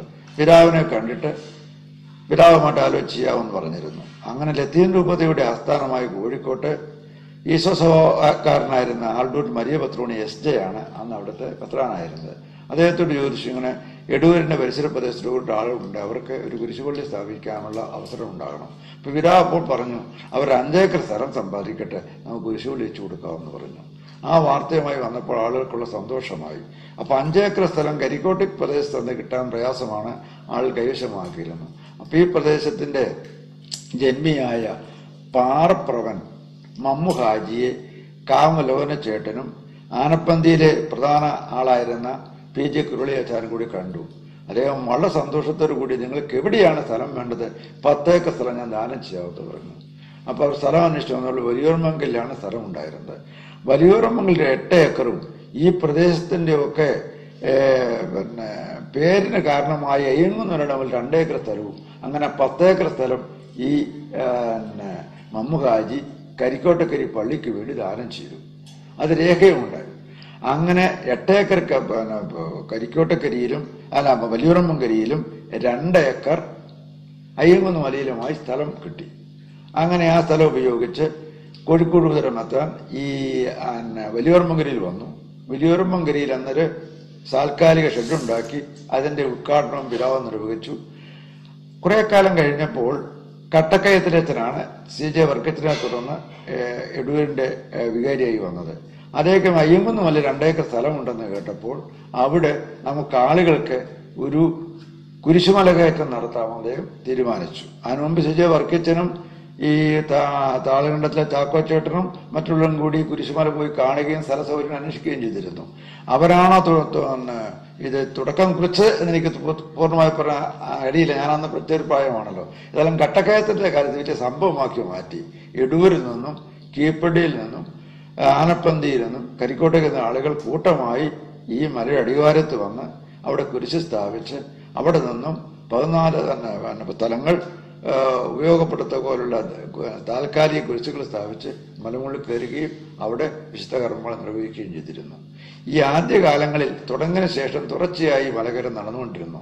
അന്ന് അന്ന് വർഷത്തിൽ ഒരിക്കൽ കയറിയാൽ പിന്നെ കയറാറില്ല. അപ്പോൾ കുരിശുമല കയറുന്ന ദിവസം അവിടെ വേണ്ട ക്രമീകരണങ്ങൾ ചെയ്യാനും കാട് വെട്ടിത്തെളിക്കാനും പന്തലിടാനും വെള്ളമൊരുക്കാനും ഒക്കെ. അന്ന് ചെറുപ്പ പ്രായം കുറഞ്ഞ ചെറുപ്പക്കാരായ ഞങ്ങളെ കൂട്ടുകൂട്ടും. അങ്ങനെ അതിരാവിലെ അതിരാ മലമുകളിൽ കയറി അവിടെ സ്ഥലം ഒരുക്കാൻ കാരണം പിന്നെ കേട്ടന്മാരുടെ കൂടെ ഞങ്ങളും പോയിരുന്നു. അങ്ങനെ ദിവസം രണ്ട് ദിവസം ഈ മലമുകളിൽ കയറിയ അനുഭവമുണ്ട്. ഏതായാലും ഈ കുരിശുമല കയറ്റുന്ന വലിയ സംഭവം നൂറുകണക്കിന് ആളുകൾ അവിടെ വരികയും അവിടെ പ്രാർത്ഥന നടത്തുകയും ചെയ്തിരുന്നു. അന്ന് ഈ പ്രദേശത്തെങ്ങും വേറെ കുരിശുമല കയറ്റമില്ല ഇന്നിപ്പോൾ നമ്മുടെ പരിസര പ്രദേശത്ത് മറ്റു സ്ഥലത്ത് കുരിശുമല കയറ്റം ഉണ്ടെങ്കിലും ഈ കുടി ഈ ഇട്ടി പരിസരത്തുള്ള കുടിയേറ്റ മേഖലയിലെ ആദ്യത്തെ കുരിശുമലയാണ് അയ്യങ്കുന്ന് കുരിശുമല കയറ്റം അത് ഏറെക്കാലം നീണ്ടു നിന്നു. ബഹുമാനപ്പെട്ട കട്ടക്കേലത്തിന് ശേഷം ആയിരത്തി തൊള്ളായിരത്തി അമ്പത്തി മൂന്ന് ഡിസംബർ മുപ്പത്തൊന്നാം തീയതി തലശ്ശേരി സ്ഥാപിക്കുകയും അഭിമന്യ വള്ളോപ്പള്ളി പിതാവ് അഡ്മിനിസ്ട്രേറ്ററായി തലശ്ശേരിയിൽ ചാർജ് എടുക്കുകയും ശേഷവും കരിക്കോട്ടക്കരി ഉൾക്കൊള്ളുന്ന പ്രദേശത്തിന്റെ എഴുവികാരിയായി എടൂരെ ബഹുമാനപ്പെട്ട ഇള പിന്നെ, പിന്നെ വന്ന ദേവസ്യ അച്ഛൻ ബഹുമാനപ്പെട്ട ഇളന്തുരുത്തി അച്ഛൻ ഈ മലകയറ്റത്തെ പ്രോത്സാഹിപ്പിച്ചു. തുടർന്ന് അദ്ദേഹത്തിന്റെ നേതൃത്വത്തിൽ മലകയറ്റം തുറന്നു. അത് കഴിഞ്ഞ് കുറെ കാലം കൂടെ കഴിഞ്ഞ് കരിക്കോട്ടക്കരിയിൽ പള്ളി വരികയും ഇവിടുത്തെ ആദ്യത്തെ വികാരിയായി വന്ന ഫാർ ഫോൾ വഴുതലക്കാരുടെ നേതൃത്വത്തിൽ ഇത് വളരെ ആഘോഷമായി കുരിശുമലകയറ്റം നടത്തി. അന്ന് അന്ന് മുതലാണ് കരിക്കോട്ടക്കപ്പള്ളിയുടെ ആഭിമുഖ്യത്തിൽ കുരിശുമലകയറ്റം തുടങ്ങിയത്. എങ്കിലും ഇടൂരിന്നും കീപ്പള്ളി നമുക്ക് അടുത്തൊന്നും കുരിശുമില്ലാത്തതുകൊണ്ട് ഈ കയറ്റം വന്നു. ഇത് പിന്നെ പിന്നെ പുതിയാറാഴ്ച ദിവസമാണ് ഈ കുരിശുമാറ്റ എത്തിയിരുന്നത് വടലക്കാട്ടത്തിന് ശേഷം വന്ന മഞ്ജുവള്ളിയച്ഛൻ അതുപോലെ തന്നെ തുരുത്തിമല്ലച്ചൻ ചെമ്പ്ലാനി അച്ഛൻ തുടങ്ങി കുറേ വൈദികരുടെ കാലഘട്ടത്തിൽ പള്ളി വളരെ സജീവമായിട്ട് വന്നു. പക്ഷെ കുറെ കാലം കഴിഞ്ഞപ്പോഴേക്കും അത് എന്തുകൊണ്ടോ നിലച്ചുപോയി. പിന്നെ ആളുകൾ അവിടെ പിന്നെ കയറുന്ന കാര്യത്തിൽ വേണ്ടത്ര പ്രോത്സാഹനം. പിന്നെ വന്ന അച്ഛന്മാർ പല കുറച്ച് പ്രായമുള്ളവരായിരുന്നു കൊണ്ടോ കയറാൻ പ്രയാസമുള്ളത് കൊണ്ടോ ആണെങ്കിലും ജനങ്ങൾ ഇതിപ്പോൾ തുറന്നുകൊണ്ടിരുന്നതാണ് വേറെ പ്രത്യേകത. ഔദ്യോഗികമായ അച്ഛന്മാരുടെ സാന്നിധ്യമില്ലെങ്കിലും ഈ പഴയ പഴമയോർത്ത് ആ നേരത്തെ കയറിയ നാളിൽ വീണ്ടും ഈ മലമുള്ളിൽ കയറി അങ്ങനെ കുറെ കാലം തുറന്നുകൊണ്ടിരുന്നു. പിന്നെ എങ്ങനെയോ കുറെ കാലം കൊണ്ട് അത് നിലച്ചുപോയി. ഏതായാലും അതിനുശേഷം ബിജുവിനെ പോലുള്ളവർ ഇങ്ങനെ കയറാൻ തുടങ്ങിയെന്നും കഴിഞ്ഞ പത്ത് വർഷമായി അവിടെ കയറുന്നുണ്ടെന്നും അറിയുന്നത് വളരെ സന്തോഷകരമായ വസ്തുതയാണ്. മലകയറ്റവും ഒരു ത്യാഗത്തിന്റെയും പിന്നെ സ്നേഹത്തിന്റെയും പ്രാർത്ഥനയുടെയും അന്തരീക്ഷം സൃഷ്ടിക്കുന്ന ആയതുകൊണ്ട് നമുക്ക് ഈ മലകയറ്റം ഒരു തലമുറയ്ക്ക് പ്രചോദനം നൽകുന്നതിന് ബിജുവിനെ പോലുള്ള യുവാക്കൾ നേതൃത്വം കൊടുക്കുന്ന വളരെ സന്തോഷകരമായിരിക്കുമെന്നാണ് എന്റെ അഭിപ്രായം. ഈ കഴിഞ്ഞ ദിവസങ്ങളിൽ ഇതുപോലെ ആരോ പറയുകയുണ്ടായി അതായത് ഒരു കാലഘട്ടത്തിൽ അതിശക്തമായ വരൾച്ച വന്നിട്ട് ആളുകൾ പിന്നെ വെള്ളമൊക്കെ ചുമന്നുകൊണ്ട് മലകൂടെ കയറി അവിടുന്ന് തിരിച്ചിറങ്ങുമ്പം ജൂൺ മാസം കഴിഞ്ഞിട്ടും മഴയില്ലായിരുന്നു. എന്നിട്ട് മല പരിഹാരമായിട്ട് മല കയറി തിരിച്ചിറങ്ങുമ്പോൾ ശക്തമായ മഴ പെയ്തു എന്നുള്ള ഒരു സംഭവമൊക്കെ പറഞ്ഞു അതെനിക്ക് അതെന്റെ ഓർമ്മയുണ്ട്. വളരെ ശക്തമായ ഒരു ഒരു ഒരു ഒരു കാലഘട്ടമായിരുന്നു. വളരെ വളർച്ച ഉണ്ടായപ്പോൾ അച്ഛൻ പള്ളിയിൽ വിളിച്ചു പറഞ്ഞു മലമുകളിൽ കയറണം നമ്മൾ ത്യാഗം അനുഷ്ഠിക്കണം നമ്മൾ പ്രാർത്ഥന ചെയ്യണം എന്ന് പറയുകയും ആളുകൾ കൂട്ടമായി പരിഹാര പ്രദക്ഷിണമായി തന്നെ കയറുകയും മഴ പെയ്യുകയും ചെയ്തു. വേറൊരു പ്രത്യേകതയുള്ളത് സാധാരണ ഈസ്റ്റർ കരഞ്ഞ് ഒരു പിന്നെ മഴയ്ക്ക് വിഷമുള്ള കാലഘട്ടമാണെങ്കിലും പല കാലങ്ങളിലും കുരിശുമല കയറുന്നത് പകൽ സമയത്താണല്ലോ. കയറി വളരെ വേർത്ത് വലിച്ചു കയറുമെങ്കിലും തിരിച്ചിറങ്ങുമ്പോഴേക്കും മഴ പെയ്യാനുള്ള അനുഭവം പല വർഷങ്ങളും ഉണ്ടായിട്ടുണ്ട്. അപ്പൊ കുരിശുമല കയറിയാൽ അവിടെ നിന്നും അനുഗ്രഹം കിട്ടുമെന്നും അതിന്റെ ഭാഗമായി മഴ പെയ്യുമെന്നുള്ള ഒരു സാധാരണ ചിന്താഗതി നേരത്തെ തന്നെ ഉണ്ടായിരുന്നു. അതിന്റെ ഫലമായിരിക്കണം വെള്ളച്ച ഉണ്ടായപ്പോൾ ഇങ്ങനെ ചിന്ത ഉണ്ടായാലും ഇങ്ങനെയുള്ള പിന്നെ ഒരു പരിഹാര പ്രശ്നം തയ്യാറായാലും അങ്ങനെ മഴ പെയ്യാനിടയായാലും എന്റെ ഓർമ്മയുള്ള കാര്യമാണ്. സാറേ പിന്നെ സാറിപ്പോ ഇത് പറഞ്ഞുകൊണ്ടിരുന്നപ്പോ തുടക്കത്തിന്റെ ഒരു കാര്യം പറഞ്ഞു. അതായത് പാറപ്പുറം മമ്മുഹാജിയാണ് നമുക്ക് ഈ പള്ളിക്ക് വേണ്ടി സ്ഥലം അതെ അതെ അതെ. അപ്പൊ ഈ കുടിയേറ്റത്തിലേക്ക് ആദ്യ കാലഘട്ടങ്ങളിലൊക്കെ മറ്റു മതസ്ഥരൊക്കെ നല്ല സൗഹാർദ്ദത്തിലായിരുന്നു. മറ്റു മതസ്ഥ എന്ന് പറഞ്ഞാൽ ഇവിടെ ആദിവാസികളാണ് ആദ്യം അധികമായിട്ട് ഉണ്ടായിരുന്നത് പിന്നെ ഇവിടെ സ്ഥിരതാമസക്കാരായി ഈ നാട്ടുകാരായി ആരും ഉണ്ടായിരുന്നില്ല. വന്നിരുന്ന ഈ ഈ വനംപ്രദേശത്തെ മരങ്ങൾ മുറിക്കുന്നതിന് വേണ്ടി കൂപ്പ് ലേലത്തിനെടുത്ത ആ ലേലം വിളിച്ച ആളുകൾ അവരിൽ ഹിന്ദുക്കളുമുണ്ട് കൂടുതൽ മുസ്ലിമുകളായിരുന്നു. അവരോട് വന്ന് ഈ മരം വെട്ടി പുഴയിലൂടെ ഒഴുക്കി വളപട്ടണത്തിലേക്ക് കൊണ്ടുപോയിരുന്നു അത് അപൂർവമായ ലോറിയിൽ കയറ്റി കൊണ്ടുവരുന്നുള്ളൂ അങ്ങനെയുള്ള ആളുകളുമായി നമുക്ക് വളരെ സൗഹാർദ്ദമായിരുന്നു. പിന്നെ അടുത്ത പ്രദേശം വള്ളിത്തോട്. ആറളം ഇരിട്ടി. ഈ മൂന്ന് മേഖലയിൽ ഭൂരിപക്ഷം മുസ്ലിം സഹോദരങ്ങളായിരുന്നു. മലബാർ കുടിയേറ്റമേൽ ഇത്രയും മതസൗഹാർദ്ദമുള്ള ഒരു പ്രദേശം ഇല്ലെന്നാണ് എന്റെ അറിവിൽപ്പെട്ടത്തോളം കഴിഞ്ഞത്. എല്ലാവരും ഉള്ള സ്നേഹത്തിലും സൗഹൃദത്തിലും കഴിഞ്ഞിരുന്നു. അതിന്റെ ഉദാഹരണമാണല്ലോ മമ്മകാജി പത്ത് ഏക്കർ സ്ഥലം കൊടുക്കാൻ ഇടയായത്. അതുകൊണ്ട് കരിക്കോട്ടക്കരി പള്ളിയുടെയും ഈ പിന്നെ മല മലയിലെ ഈ ഈ ഈ നിന്നും മതസൗഹാർദ്ദത്തിന്റെ ഏറ്റവും വലിയ ഉദാഹരണമായി കണക്കുകയും ചെയ്യും. അത് തന്നെയല്ല ഈ വലിയൊരമ്മങ്കരിയിൽ വന്ന് കോഴിക്കോട് പിരാവ് മരിയ പത്രോണി പിരാവ് ഉദ്ഘാടനം ചെയ്ത ശേഷം തിരിച്ചു പോയപ്പോൾ വള്ളിത്തോട്ടിൽ ഇന്നത്തെ സെന്റ് ജൂത് പള്ളി ഇരിക്കുന്നതിന്റെ പിൻഭാഗത്ത് നമ്മുടെ പുഴയുടെ ഇക്കരയുള്ള എടുപ്പെന്ന സ്ഥലമുണ്ട് അതാണ് അവരുടെ ബംഗ്ലാവ്. അവിടെ വെച്ച് മുത്രോടി പിതാവിന് വളരെ വലിയ സ്വീകരണവും വിരുന്ന് സൽക്കാരവും നൽകുകയും ചെയ്തു. അതുകൊണ്ടാണ് ഈ പ്രദേശത്തെ ആളെ വളരെ സൗഹാർദ്ദ സൗഹാർദ്ദത്തിന്റെ ഏറ്റവും വലിയ ഉദാഹരണമായിരുന്നു ഈ പ്രദേശം എന്ന് പറയുന്നത് യാതൊരു സംശയവുമില്ല. നമ്മൾ ഈ ക്രിസ്ത്യ ക്രിസ്ത്യൻസിനോടൊപ്പം തന്നെ ഈ ഹൈന്ദവരായിട്ടുള്ള അങ്ങനെ നമ്മുടെ ഈ ഇവിടെയുള്ള മറ്റാളുകളൊക്കെ ഇങ്ങനെ മലകയറ്റത്തിലൊക്കെ വരുമായിരുന്നു തീർച്ചയായും വരുമായിരുന്നു ഈ മലകയറ്റം മാത്രമല്ല ഇപ്പൊ ശ്രദ്ധിച്ചാലും മനസ്സിലാകാൻ പറ്റും. ഇവിടെയുള്ള ഹിന്ദ- ഹൈന്ദവ സഹോദരങ്ങൾ തോമാശ്രീകാട് പള്ളിയിൽ ഇപ്പോഴും വരികയും കഴിഞ്ഞെടുക്കുകയും നേർച്ചയിടുകയും ചെയ്യുന്നുണ്ട്. ഒരു ഇനിയൊരു കാര്യം കൂടി ചോദിക്കാനുള്ള ഇതാണ്. നമ്മൾ വീണ്ടും ആ ആദ്യ കാലഘട്ടത്തിലെ പോലെ ഒരു മലകയറ്റം വീണ്ടും ആരംഭിക്കുകയാണെങ്കിൽ ഇന്നത്തെ ഈ പുതിയ തലമുറയോട് സാറിന് എന്താണ് പറയാനുള്ളത്? അന്ന് ഒത്തിരി പ്രാവശ്യം മല ഒരു ദിവസം രണ്ടു പ്രാവശ്യമൊക്കെ മല കയറിയിരുന്നു സാർ പറഞ്ഞു അങ്ങനെ ഒത്തിരി വർഷക്കാലം ഈ മല കയറിയവരുടെ കൂട്ടത്തിൽ സാറുണ്ടായിരുന്നു. അപ്പം ആ ഒരു അനുഭവം സാറിനുണ്ട്. അപ്പം ഇന്നത്തെ തലമുറയിലുള്ള യുവജനങ്ങളോട് അല്ലെങ്കിൽ പിള്ളേരോടൊക്കെ സാറിന് എന്താണ് പറയാനുള്ളത്? യുവജനങ്ങൾ പൊതുവെ ഇപ്പോൾ ഭക്താനുഷ്ഠാനങ്ങളിൽ കുറച്ച് വിമുഖരാണോ എന്ന് സംശയം ഉണ്ടെങ്കിലും ഇന്നത്തെ ഈ കരിസ്മാറ്റിക് പ്രസ്ഥാനമൊക്കെ വളർന്നു ശേഷം യുവജനങ്ങൾ വളരെ സജീവമായി ഇന്ന് ഭക്താനുഷ്ഠാനങ്ങളിലേക്ക് കടന്നു വരുന്നുണ്ട് എന്നാണ് എന്റെ പൂർണമായ ബോധ്യം. അതിന്റെ അടിസ്ഥാനത്തിൽ ഇപ്പോൾ ഇവിടെ നിന്ന് തന്നെ കരിക്കോട്ടക്കിൽ നിന്ന് എത്രയോ യുവ സഹോദരങ്ങൾ നടന്നും വാഹനത്തിലുമായി നമ്മളെ മലയാറ്റൂർ കുരിശുമല പോകുന്നുണ്ട്. അപ്പോൾ അത്രയും ദൂരെ പോകുന്ന ആ ആത്മാർത്ഥതയും ത്യാഗവും മനസ്സിൽ വെച്ച് കാണുമ്പോൾ തീർച്ചയായും ഇവിടെ ഇവിടെ മലകയറ്റം ആരംഭിക്കുകയാണെങ്കിൽ ആളുകളുടെ സഹകരണം പൂർണമായി ഉണ്ടാകും എന്നാണ് എനിക്ക് തോന്നുന്നത്. ഇനി വേറെ ഉദാഹരണം പറഞ്ഞാൽ പേരാവൂരിനപ്പുറം കുളക്കാട് മലകയറ്റം ഇപ്പോഴും തുടരുന്നുണ്ട്. ഞാൻ മനസ്സിലാക്കിയെടുത്തോളം അവിടെ ഇപ്പോൾ ധാരാളം ആളുകൾ മല കയറാൻ പോകുന്നുണ്ട്. പക്ഷെ ഇവിടെ നിന്നൊക്കെ ഇത്രയും ദൂരം മാത്രമുണ്ടായിരിക്കും പോകാത്തത്. ഇവിടെ ആരംഭിക്കുകയാണെങ്കിൽ അങ്ങാടിക്കടവിന്റെയും എടൂരിന്റെയും ആനപ്പന്തിയുടെയും എല്ലാം സഹകരണം കിട്ടുമെന്നും ഇതിന് നല്ല പരിപാടിയായി രൂപപ്പെടുത്താൻ കഴിയുമെന്നുള്ളതാണ് മുൻകാല അനുഭവത്തിന്റെയും ഇപ്പോഴത്തെ കാര്യങ്ങളുടെ നിരീക്ഷണത്തിൽ എന്റെ അഭിപ്രായം. സാറേ ഈ ഒരു അഭിമുഖത്തിൽ പങ്കെടുത്തതിന് സാറിന് ജീസസ് ഫോക്കസ് ഇന്ത്യ ഇവാഞ്ചലൈസേഷൻ മിനിസ്ട്രിയുടെ നാമത്തിൽ ഞാൻ സാറിന് നന്ദി പറയാം തീർച്ചയായും. പക്ഷെ നിങ്ങൾ ഇങ്ങനെ കാര്യത്തിൽ മുന്നോട്ട് വന്നതിലും ഇങ്ങനെ പ്ര- പ്രവർത്തനം മുന്നോട്ട് കൊണ്ടുപോകാൻ ശ്രമിച്ചതിലുള്ള സന്തോഷമുണ്ട്. ആദ്യമൊക്കെ വേണ്ടത്ര വിജയിച്ചില്ലെന്ന് തോന്നിയാലും നിശ്ചയദാർഢ്യത്തോടും ഭക്തിയിലും കുറച്ച് ദൈവത്തിൽ ആ- ആശ്രയിച്ച് മുന്നോട്ട് പോയാൽ ദൈവപാലനം വിജയിക്കുമെന്നാണ് എന്റെ പൂർണമായ അഭിപ്രായം വിശ്വാസം തീർച്ചയായും.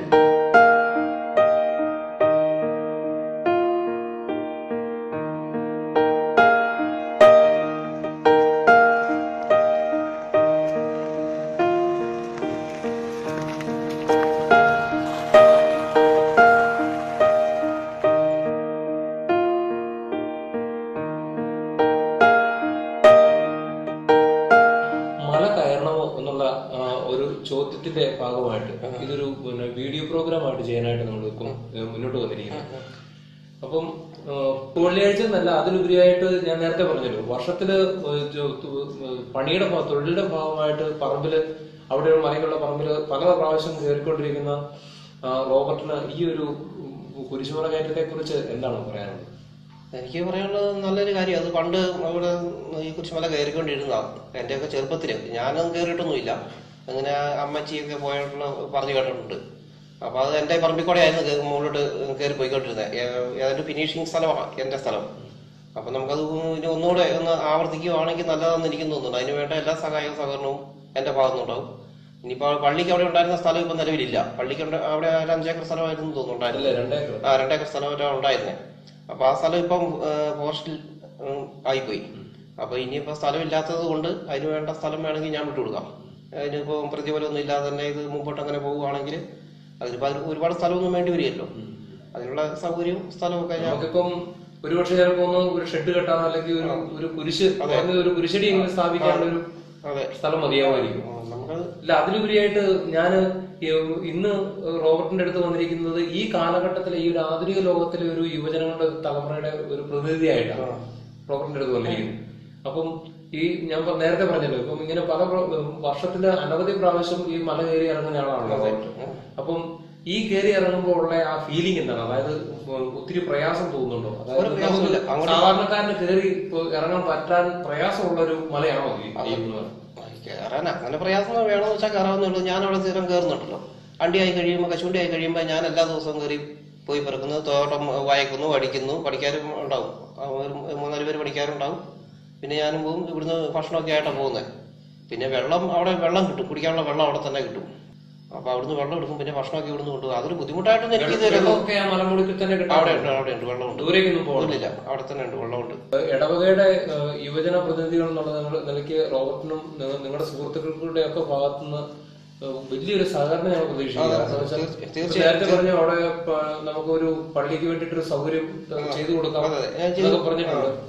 പക്ഷെ അതിലുപരിയായിട്ട് ഇത് ഇതൊരു ഇതൊരു ആരംഭിക്കാനായിട്ട് നിങ്ങളുടെ ഭാഗത്തുനിന്ന് ഒരു നല്ലൊരു സഹകരണം ഞങ്ങൾ പ്രതീക്ഷിക്കുന്നുണ്ട് തീർച്ചയായും പ്രതീക്ഷിക്കാം. ഏതായാലും ഈ ഒരു അഭിമുഖത്തിൽ പങ്കെടുത്തതിന് യേശുവിന്റെ നാമത്തിൽ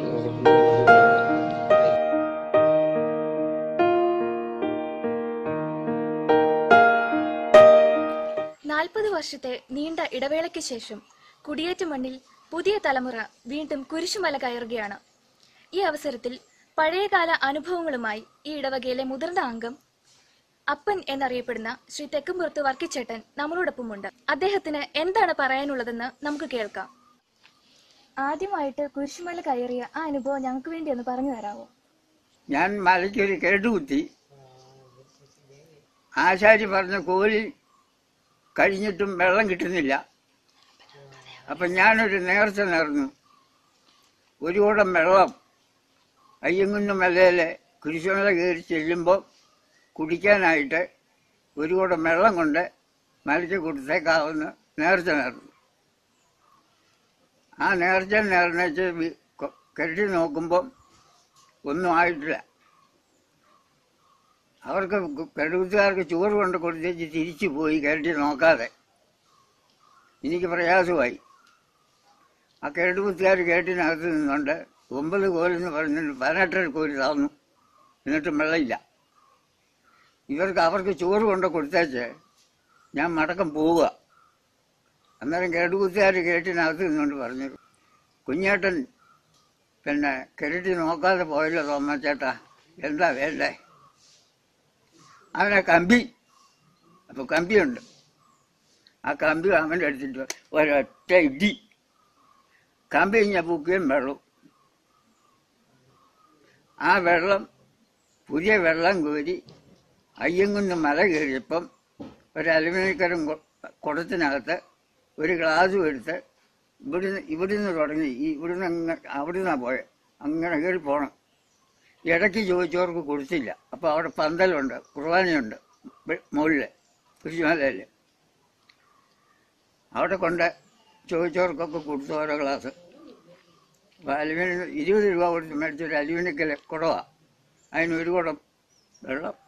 മുകളിലെത്തിച്ചു എല്ലാവർക്കും കൊടുത്തു. ഒരു മൂന്ന് കൊല്ലം കൂടെ കയറി പിന്നെ. എന്നാൽ ഈ ഭാഗത്തുള്ളവരോട് പറഞ്ഞു അയ്യങ്ങുന്ന മല കയറണമെങ്കിൽ ആ കാടൊന്ന് വഴിയൊന്ന് വെട്ടിത്തെളിക്കണം. അപ്പോൾ കാടും പള്ളിയും ഈ പൂച്ചുവാലി അങ്ങനെ കയറി കിടക്കുക ആരും അതിന് നിന്നില്ല. വഴി തെളിച്ചില്ല. പൂച്ചവാല കയറ്റം വേണ്ടെന്ന് അത് പിന്നെ കുരിശുമല കയറിയിട്ടുമില്ല. ആയിരത്തി തൊള്ളായിരത്തി നാൽപ്പതുകളിൽ കഷ്ടതകളുടെ നടുവിലേക്ക് കുടിയേറ്റം ആരംഭിച്ച നമ്മുടെ മാതാപിതാക്കന്മാർ. മലമുകളിലേക്ക് വിശ്വാസത്തിന്റെ വഴി നമുക്ക് തെളിച്ചു തന്നു. പുതിയ തലമുറ വീണ്ടും ആ വഴിയെ യാത്ര തുടങ്ങുമ്പോൾ മൺമറഞ്ഞു പോയ നമ്മുടെ മാതാപിതാക്കന്മാരെയും പ്രായാധിക്യത്താൽ വീട്ടിൽ വിശ്രമിക്കുന്നവരെയും തീർച്ചയായും നാം പ്രാർത്ഥനയിൽ ഓർക്കുമെന്ന വിശ്വാസത്തോടെ ജീസസ് ഫോക്കസ് ഇന്ത്യയ്ക്ക് വേണ്ടി കരിക്കോട്ടക്കരയിൽ നിന്നും അനു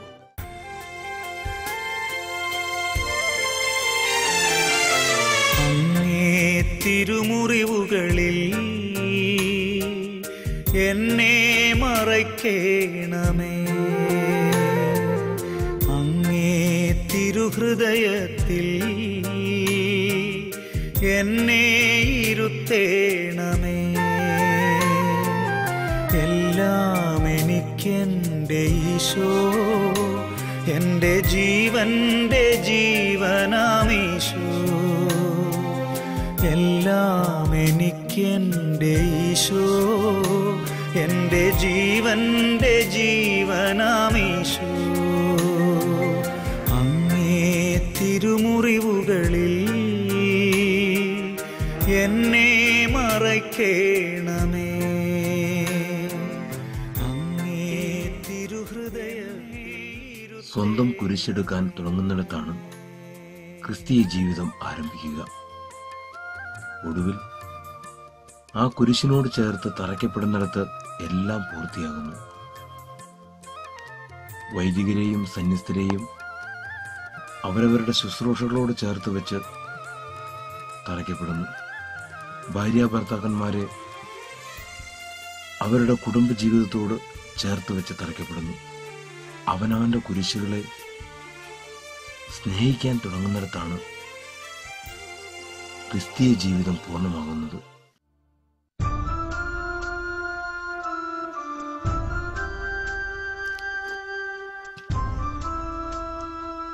രാത്രിയുടെ ലോകമായിരുന്നു എന്റേത് ചുറ്റും കൃത്രിമ വിളക്കുകൾ.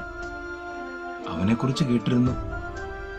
അവനുമായി അടുത്താൽ ഇഷ്ടപ്പെട്ട പലതും ഉപേക്ഷിക്കേണ്ടി വരുമായിരുന്നു. ധ്രുവത്തിൽ മഞ്ഞ് വീണടിയുന്നത് പോലെ പാപഭാരം വർദ്ധിച്ചു വന്നു. പ്രഭാതത്തിൽ ഉദിച്ചു വരും പോലെ ഇടയ്ക്കെപ്പോഴോ അവനുമായി അടുത്തു തുടങ്ങി. അടുക്കും തോറും എന്നിലെ പലതും ഒഴുകി ഒഴുകി. ഈ ലോകസുഖങ്ങളിൽ ഏറെ ഇഷ്ടപ്പെട്ടിരുന്ന ഒന്നിനെങ്കിലും ശേഷിപ്പിക്കാൻ ഞാൻ ആഗ്രഹിച്ചു. അവൻ നീതി സൂര്യൻ. അവന്റെ ഉച്ചച്ചൂടിൽ ഒന്നും അവശേഷിച്ചില്ല. സായാഹ്നത്തിൽ ഞാൻ ഭാരമില്ലാതെ ഒരു തുമ്പി പോലെയായി അസ്തമയത്തിൽ ഞാൻ അവനെ ലയിച്ചു. ഇനി എനിക്കൊരു രാത്രിയില്ല. കാരണം അവനിൽ വസിക്കുന്ന ഞാൻ എന്നും പ്രകാശത്തിലാണ്. അവൻ യേശു.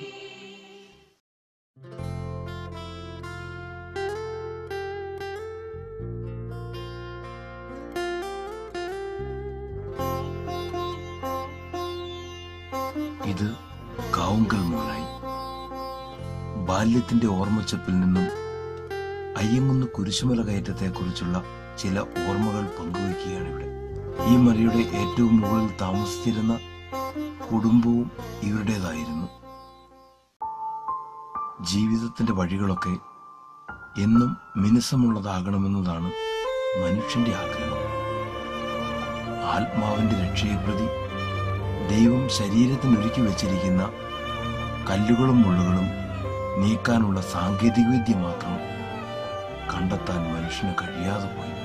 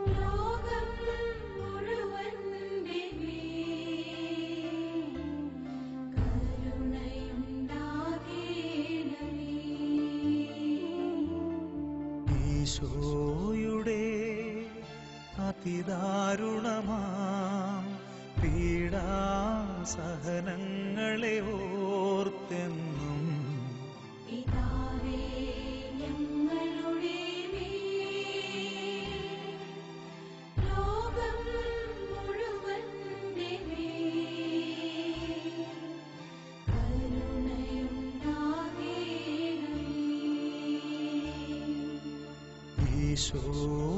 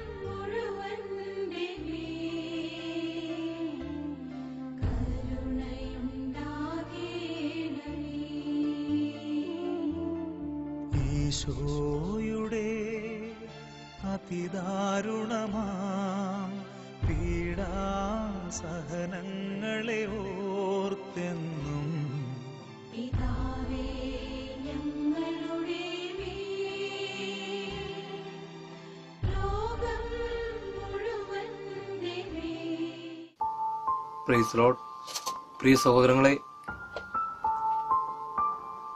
നമ്മൾ ഇപ്പോൾ നിങ്ങൾ കാണുന്ന ഈ ഒരു രംഗം ഇത് അയ്യങ്കുന്ന് മലയുടെ പകുതിക്ക് മുകളിലുള്ള ഒരു കൃഷിസ്ഥലത്തെ ഒരു അവർ പണിയെടുക്കാൻ വരുമ്പോൾ പണിയായുധങ്ങളൊക്കെ വെക്കാനായിട്ട് ഉണ്ടാക്കിയിരിക്കുന്ന അത്യാവശ്യം ഭക്ഷണം കഴിക്കാനും ഒക്കെ വിശ്രമിക്കാനും ഉണ്ടാക്കിയിരിക്കുന്ന ഒരു ഷെഡാണ്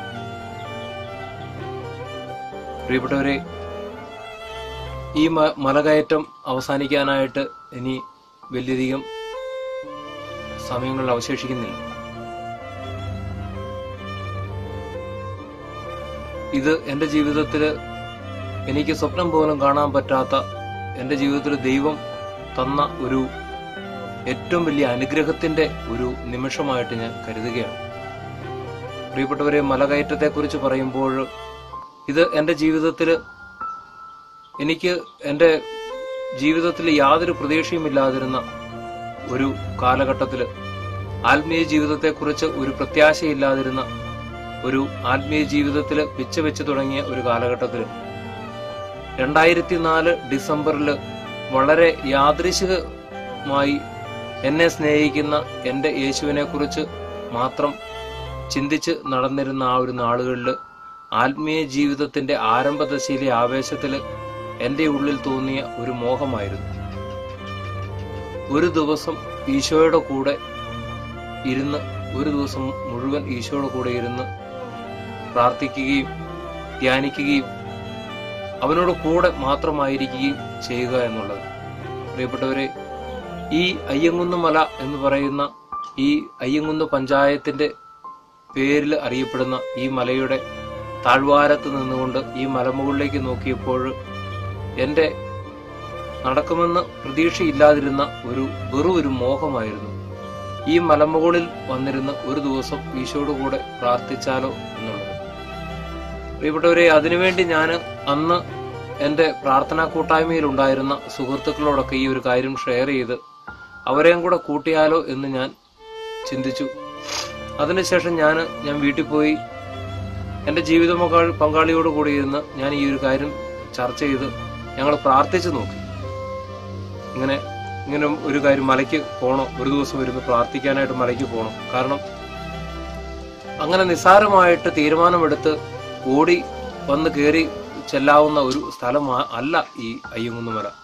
ഒരുപക്ഷെ ഈ വരുന്ന ദുഃഖ വെള്ളിയാഴ്ച നിങ്ങൾ ഇവിടെ വരാനായിട്ട് മനസ്സ് വെക്കുകയാണെങ്കിൽ നിങ്ങൾക്കത് മന നേരിട്ട് കണ്ട് അനുഭവിച്ചറിഞ്ഞ് മനസ്സിലാക്കാനായിട്ട് സാധിക്കും. കാരണം ഇതിന്റെ പകുതിക്ക് മുക്കാലിനും മുകളിലേക്ക് ഫോറസ്റ്റ് ആണ്. ജനവാസമില്ല. വന്യമൃഗങ്ങൾ എഴുജന്തുക്കൾ അങ്ങനെ നമ്മളെ കാത്തിരിക്കുന്ന പലവിധ അപകടങ്ങളും ഇതിന് മുകളിലുണ്ട് ഉണ്ടാകാം. അതുകൊണ്ട് പ്രാർത്ഥിച്ച് ദൈവം ഇത് ആഗ്രഹിക്കുന്നുണ്ടോ ഈശോ ഇത് ആഗ്രഹിക്കുന്നുണ്ടോ എന്നുള്ളത് ആലോചന ചോദിച്ചപ്പോൾ ഈശോ അവിടുത്തെ അവിടുന്ന് ഇത് ആഗ്രഹിക്കുന്നുണ്ടെന്നുള്ളത് അവിടുന്ന് എനിക്ക് വെളിപ്പെടുത്തി തന്നു. അതുപോലെ തന്നെ അവിടുന്ന് എനിക്ക് എന്നോട് ഒരു കാര്യം കൂടെ പറഞ്ഞു മോനെ നീ മാത്രം പോയാൽ മതി നീ വേറെ ആരെയും പോട്ടുണ്ടായിരുന്നു പ്രിയപ്പെട്ടവരെ അന്ന് ആദ്യമായിട്ട് രണ്ടായിരത്തി നാല് ഡിസംബറിൽ ഇവിടെ കയറി വരുമ്പോൾ കൈവശമുണ്ടായിരുന്നത് ഒരു കുപ്പി വെള്ളം മാത്രം. അത് ഈ മുകളിൽ മലമുകളിൽ എത്തിയപ്പോഴത്തേനും അത് മുഴുവൻ തീർന്നിരുന്നു. കാരണം ഇവിടെ എത്തിയപ്പോഴത്തേനും ആകെ തളർന്ന് അവശനായി. ഒരു നേരം കഴിക്കാനുള്ള ഭക്ഷണം പോലും കരുതിയിരുന്നില്ല ഒരു തരത്തിൽ കുറച്ച് സമയമൊക്കെ ഇരുന്ന് പ്രാർത്ഥിക്കാനായിട്ട് സാധിച്ചു. അതിനുശേഷം വിശപ്പിന്റെ വിളി ഉയർന്നപ്പോൾ എനിക്ക് ആ മരമുകളിൽ സ്വസ്ഥമായിട്ട് അവിടെ തിരിക്കാൻ പറ്റുമായിരുന്നില്ല. ഞാൻ ആ മരമുകളിലൂടെ അതിലെതിലൊക്കെ നടന്നു. അതിനുശേഷം വൈകുന്നേരം ആയപ്പോൾ തിരിച്ചിറങ്ങി പോകുന്നു ഇനി എന്തായാലും ഞാൻ ഈ മലമുകളിലേക്ക് ഇല്ല എന്നൊരു തീർ ഒരു ഉറച്ച തീരുമാനം എടുത്തുകൊണ്ട് തന്നെയായിരുന്നു എന്റെ മടക്ക യാത്ര. പ്രിയപ്പെട്ടവരെ എന്നാൽ പിറ്റേ വർഷം ഡിസംബർ ആയപ്പോൾ ദൈവത്തിന്റെ പരിശുദ്ധാത്മാവ് എന്റെ ഉള്ളിലിരുന്ന് എന്നെ തള്ളുന്നതായിട്ട് എന്റെ പിന്നിൽ നിന്ന് എന്നെ തള്ളുന്നതായിട്ട് എന്റെ മുന്നിൽ നിന്നുകൊണ്ട് എന്നെ വലിക്കുന്നതായിട്ട് എനിക്ക് അനുഭവിക്കാൻ സാധിച്ചു.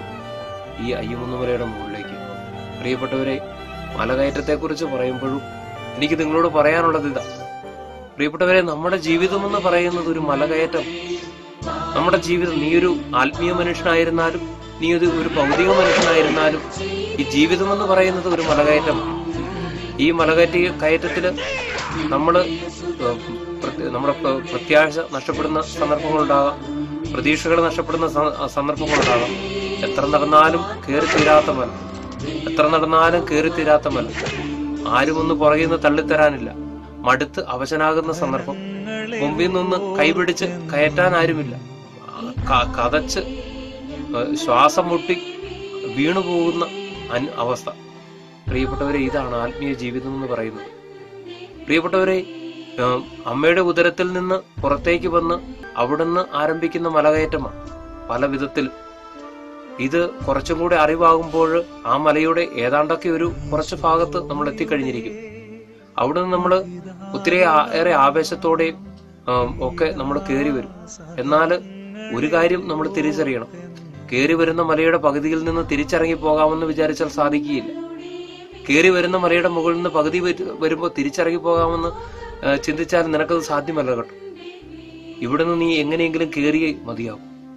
ഇവിടുന്ന് കയറി നിന്റെ മരണത്തോടുകൂടി അവസാനിക്കുന്ന ഈ മലകയറ്റത്തിന്റെ മുകളിലെത്തി കഴിയുമ്പോൾ മരണത്തിനപ്പുറമായിട്ട് ഈ മലയുടെ മുകളിന് അപ്പുറമായിട്ട് നിനക്ക് നിന്നെ കാത്തിരിക്കുന്ന ഒരു പർദീസയുണ്ട്. ഒരു സ്വർഗീയ പർദീസ. പ്രിയപ്പെട്ടവരെ തിരുവചനത്തിന് ഒത്തിരിയേറെ സ്ഥലങ്ങളിൽ മലയെ മലയെക്കുറിച്ച് പറയുന്നുണ്ട്. ഒത്തിരിയേറെ സ്ഥലങ്ങളിൽ. നമ്മൾ സുവിശേഷ ഭാഗ്യങ്ങളിൽ ഈശോ ആ, മുകളിൽ പോയിരുന്ന് ശിഷ്യന്മാരോട് ഇവരെ പഠിപ്പിക്കുന്ന ഭാഗങ്ങളുണ്ട്. ആത്മാവിൽ ദരിദ്രായവരെ ഭാഗ്യവാന്മാർ. എന്തുകൊണ്ടെന്നാൽ സ്വർഗരാജ്യം നിങ്ങളുടേതാണ്. ഇങ്ങനെയൊക്കെ പറഞ്ഞ് ശിഷ്യന്മാരെ പഠിപ്പിക്കുന്ന ഒരു മറിയുടെ ഭാഗമുണ്ട്. അതിനുശേഷം അവിടുന്ന് ഒരു മലമുകളിലേക്ക് പോകുന്നുണ്ട്. അവിടുന്ന് പ്രാർത്ഥിക്കാൻ വേണ്ടി. ശിഷ്യന്മാരെ ഓട് പ്രാർത്ഥിക്കാനായിട്ട് ആവശ്യപ്പെട്ടിട്ട് അവിടുന്ന് ഒരു ഒരു കല്ലേറ് ദൂരം മാറി നിന്ന് കമിഴ്ന്ന് വീണ് കിടന്ന് തന്റെ പിതാവിന്റെ സന്നിധിയിൽ അവിടുന്ന് പ്രാർത്ഥിക്കുക. പിതാവെ കഴിയുമെങ്കിൽ ഈ- പാനപാത്രം എടുത്തു നീക്കണം. കഴിയുമെങ്കിൽ എന്നെ എന്റെ ഈ പാനപാത്രം എടുത്തു നീക്കണം. പ്രിയപ്പെട്ടവരെ നമ്മുടെ ആത്മീയ ജീവിതത്തിന്റെയും മലകയറ്റത്തിൽ നമ്മൾ ഹൃദയം തുറന്ന് പലപ്പോഴും നമ്മൾ ഇവിടുന്ന് പിതാവിനോട് പറഞ്ഞു പോകും. നമ്മുടെ ഈശോയോട് നമ്മൾ പറഞ്ഞു പോകും. എന്റെയും ഈ പാനപാത്രം ഒന്ന് എടുത്തു നീക്കാമോ? പക്ഷേ യേശു പറഞ്ഞു നിന്റെ ഇഷ്ടമെങ്കിൽ നിന്നെ- നിന്റെ ഹിതമാണ് നിറവേറേണ്ടത്. നിനക്ക് ഇഷ്ടമുണ്ടെങ്കിൽ മാത്രം മാറ്റിയാൽ മതി. എന്നാൽ നമ്മൾ മറന്നു പോകുന്നത് ആ ഒരു കാര്യം പറയാനാ നമ്മൾ മറന്നു പോകുന്നത് ആ ഒരു കാര്യം പറയാനാണ് എന്റെ ജീവിതത്തിൽ നിന്ന് ഈ ഒരു പാനപാത്രം എടുത്ത് മാറ്റുവാനായിട്ട് ആവശ്യപ്പെടുമ്പോൾ നിന്റെ ഇഷ്ടം എന്താണെന്ന് ഞാൻ പറയാൻ മറന്നു പോകും. അതാണ് നമ്മൾ മറന്നു പോകുന്നത്. നമ്മുടെ ഇഷ്ടമല്ല പ്രിയപ്പെട്ടവർ നടക്കേണ്ടത്. ഈ ഒരു കഷ്ടതയിലൂടെയും ദുരിതത്തിലൂടെയും വീണും ഞരങ്ങിയും നിരങ്ങിയും വലിഞ്ഞും ഒക്കെയായിട്ട് നമ്മൾ മല കയറുമ്പോൾ ഇത് കയറി തീർത്തേ മതിയാവും. അതാണ് പിതാവിന്റെ ഇഷ്ടം. കാരണം അവൻ ഇരിക്കുന്നതിന് മുകളിലാണ്. അവൻ നിന്നെ കാത്തിരിക്കുന്നത് ഈ മലയുടെ മുകളിലാണ് അവിടെ നീ എത്തിപ്പെടണം. അവിടെ നീ എത്തിപ്പെടണം. താഴ്വാരം എന്ന് പറയുന്നത് സുഖത്തിന്റെയും സുഷുപ്തിയുടെയും ഒരു അടയാളമാണ്. സുഖത്തിന്റെയും സുഷുപ്തിയുടെയും അടയാളമാണ്. മലയുടെ മുകൾ എന്ന് പറയുന്ന സുരക്ഷിതത്വത്തിന്റെ അടയാളമാണ്. കാരണം ഈ ലോകത്തിന്റെ പാപത്തിന്റെ ബന്ധനങ്ങളൊന്നും അങ്ങോട്ട് കടന്നു വരികയില്ല. കാരണം അവിടെ വസിക്കുന്നത് ദൈവത്തിന്റെ ആ ചൈതന്യമാണ്. ദൈവമാണ് അവിടെ വസിക്കുന്നത്. ഹൈന്ദവ വിശ്വാസങ്ങളിലും ഹൈന്ദവ വിശ്വാസികളും അതുപോലെ ഓരോ മലകളിൽ അവരുടെ ദൈവത്തെ പ്രതിഷ്ഠിച്ച് അവർ ആരാധിക്കുന്നുണ്ട് മലയെന്ന് പറയുന്നത് ഒരു വിശുദ്ധിയുടെ ചിഹ്നമാണ് അതുകൊണ്ട് നീ നിന്റെ ജീവിതത്തിന്റെ താഴ്വാരം വിട്ട് നിന്റെ ജീവിതത്തിൽ ഒരിക്കലെങ്കിലും നീ മല കയറേണ്ടിയിരിക്കുന്നു. നിന്റെ ഈ ജീവിതത്തിന്റെ സുഖവും പിന്നെ സുഖലോലുപതിയും ഉപേക്ഷിച്ച് നീ നിന്റെ ജീവിതത്തിൽ ഒരിക്കലെങ്കിലും മല കയറേണ്ടിയിരിക്കുന്നു. പ്രിയ സഹോദര നമ്മൾ തിരുവചനങ്ങളൊക്കെ വായിക്കുമ്പോൾ നമുക്കൊരു കാര്യം മനസ്സിലാകും. ദൈവവിശ്വാസത്തെ കുറിച്ച് ഞാൻ എങ്ങനെയാണ് നിന്നോട് പറയുക? ദൈവവിശ്വാസത്തെ കുറിച്ച് ഞാൻ എങ്ങനെയാണ് നിന്നോട് പറയുക? പ്രിയ സഹോദര നീ നിന്റെ ജീവിതത്തിൽ ഒത്തിരിയേറെ കാര്യങ്ങൾ നീ പ്രാർത്ഥിക്കാറുണ്ട്. കിട്ടുമെന്ന് നീ വിചാരിക്കുന്നു. എന്നാൽ നിന്നെ ഞാൻ ഒരിക്കലും തെറ്റു പറയത്തില്ല. കാരണം യേശുവിന്റെ കൂടെ യേശുവിനെ അനുഭവിച്ചറിഞ്ഞ യേശു ചെയ്ത അനേകായിരം അത്ഭുതങ്ങൾ കണ്ട് അനുഭവിച്ചറിഞ്ഞ പന്ത്രണ്ട് ശിഷ്യന്മാരുണ്ടായിരുന്നു. അതിൽ അവൻ ദൈവപുത്രനാണെന്ന് ആത്മാവിലും സത്യത്തിലും ഒക്കെ അനുഭവിച്ചറിഞ്ഞിട്ടും യുവദാസ് മുപ്പത് വെള്ളി നാണയത്തിന് വേണ്ടി യേശുവിനെ ഒറ്റിക്കൊടുത്തു. ഇതിനൊന്നും വേണ്ടിയല്ല താൽക്കാലികമായിട്ട് ഞാൻ പെട്ടുപോയി എന്നുള്ള ഒരു കാര്യം മനസ്സിലായപ്പോൾ താൽക്കാലികമായി ഈ ലോകത്തിൽ അവന്റെ ശരീരത്തെ രക്ഷിക്കുവാനായിട്ട് പത്രോസ് യേശുവിനെ തള്ളിപ്പറയുന്ന ഒരു ഗതികേടിലേക്ക് വരിക. എന്നാൽ പ്രിയ സഹോദര ഈ മൂന്ന് വർഷക്കാലത്തിലധികം യേശുവിനെ കണ്ടും അനുഭവിച്ചും കൂടെ നടന്നും അനു അറിഞ്ഞ ശിഷ്യന്മാരെക്കായാലും ഏറ്റവും വലിയ വിശുദ്ധനായി തീർന്നത് അവനെ ഒരു വിധത്തിലും ഒരു നിമിഷം പോലും കണ്ടിട്ടില്ലാത്ത വിശുദ്ധ പൗലോസ്ലിഹായാണ് ഇതാണ് പ്രിയപ്പെട്ട ഒരു വിശ്വാസം. കാരണം വർഷങ്ങൾക്ക് മുമ്പ് ഒരു സെന്റ് പോൾ എന്ന് പറഞ്ഞ ഒരു ഇംഗ്ലീഷ് സിനിമ കണ്ട രംഗം ഞാൻ ഓർക്കുകയാണ്. അവസാനം വിജിത പൗലോസ്ലിയായെ ഒരു കല്ലിന്റെ ഒരു പീഠത്തിലേക്ക് അദ്ദേഹത്തിന്റെ തല വെച്ചിട്ട് ആരാച്ചാര് അദ്ദേഹത്തിന്റെ തല വെട്ടിമാറ്റുന്ന ഒരു രംഗം ആണ് ആ സിനിമയുടെ അവസാനം കാണിക്കുന്നത്. പ്രിയ സഹോദര ഈ ഒരു അവസ്ഥ വരെയും തന്നെ പൂർണമായിട്ട് യേശുനാഥന് കൊടുത്തുകൊണ്ട് ബാക്കി ഒരു ശിഷ്യന്റെയും പേര് ചരിത്രത്തിൽ വരാത്തതുപോലെ തിരുവചനത്തിൽ വരാത്തതുപോലെ വിശുദ്ധ പൗലോസ്ലിയ യേശുവിന് വേണ്ടി മാത്രം ജീവിച്ചു. അതിന് യേശു വിശുദ്ധ പൗലോസ്ലിയായെ കരുത്തനാക്കിയത് ആ വിശ്വാസമാണ്.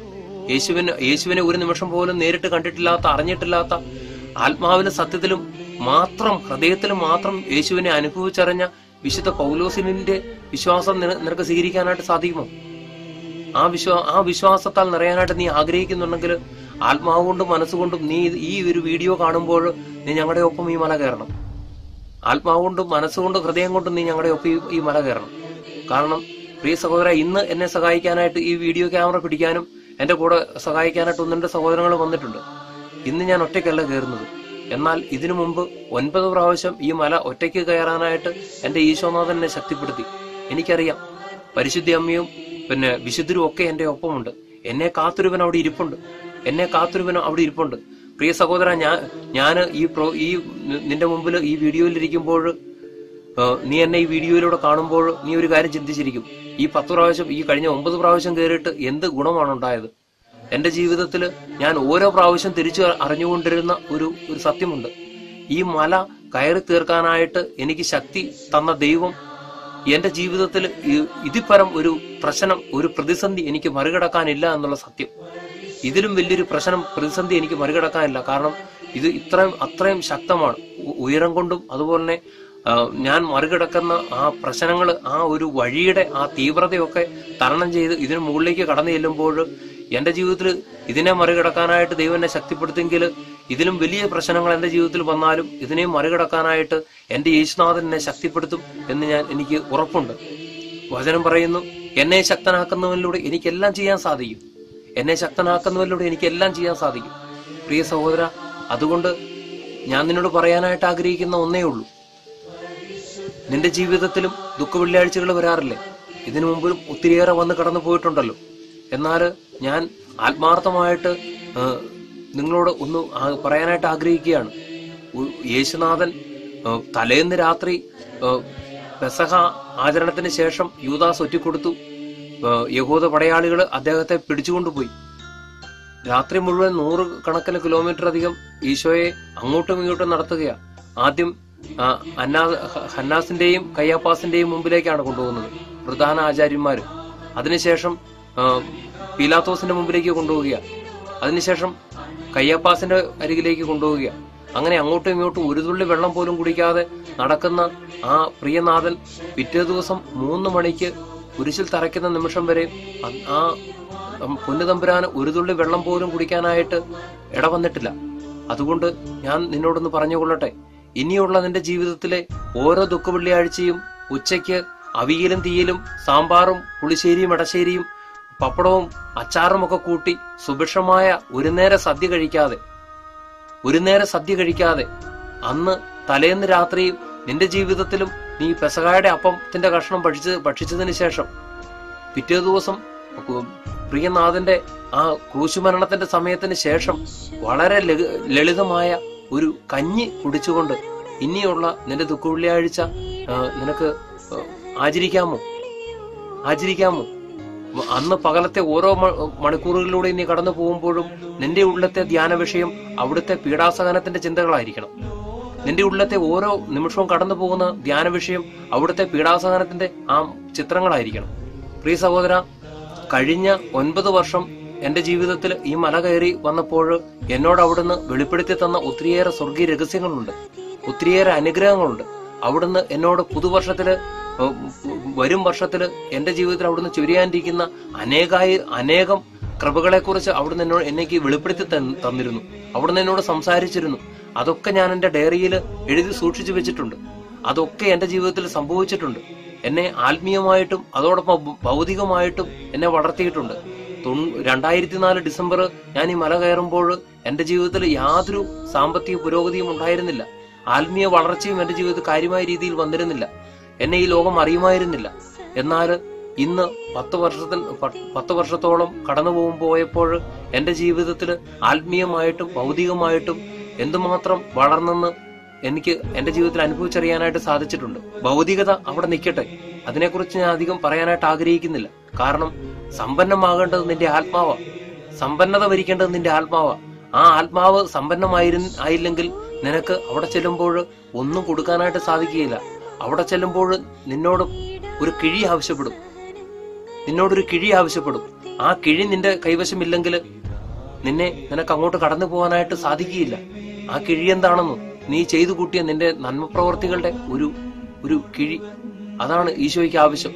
അത് നിന്റെ കൈവശം ഇല്ലാതെ പോയി കഴിഞ്ഞാൽ നീ ലോകത്ത് എന്തെല്ലാം സമ്പാദിച്ചു കൂട്ടിയിട്ട് ഒരു കാര്യമില്ല കേട്ടോ. ഒരു കാര്യവുമില്ല.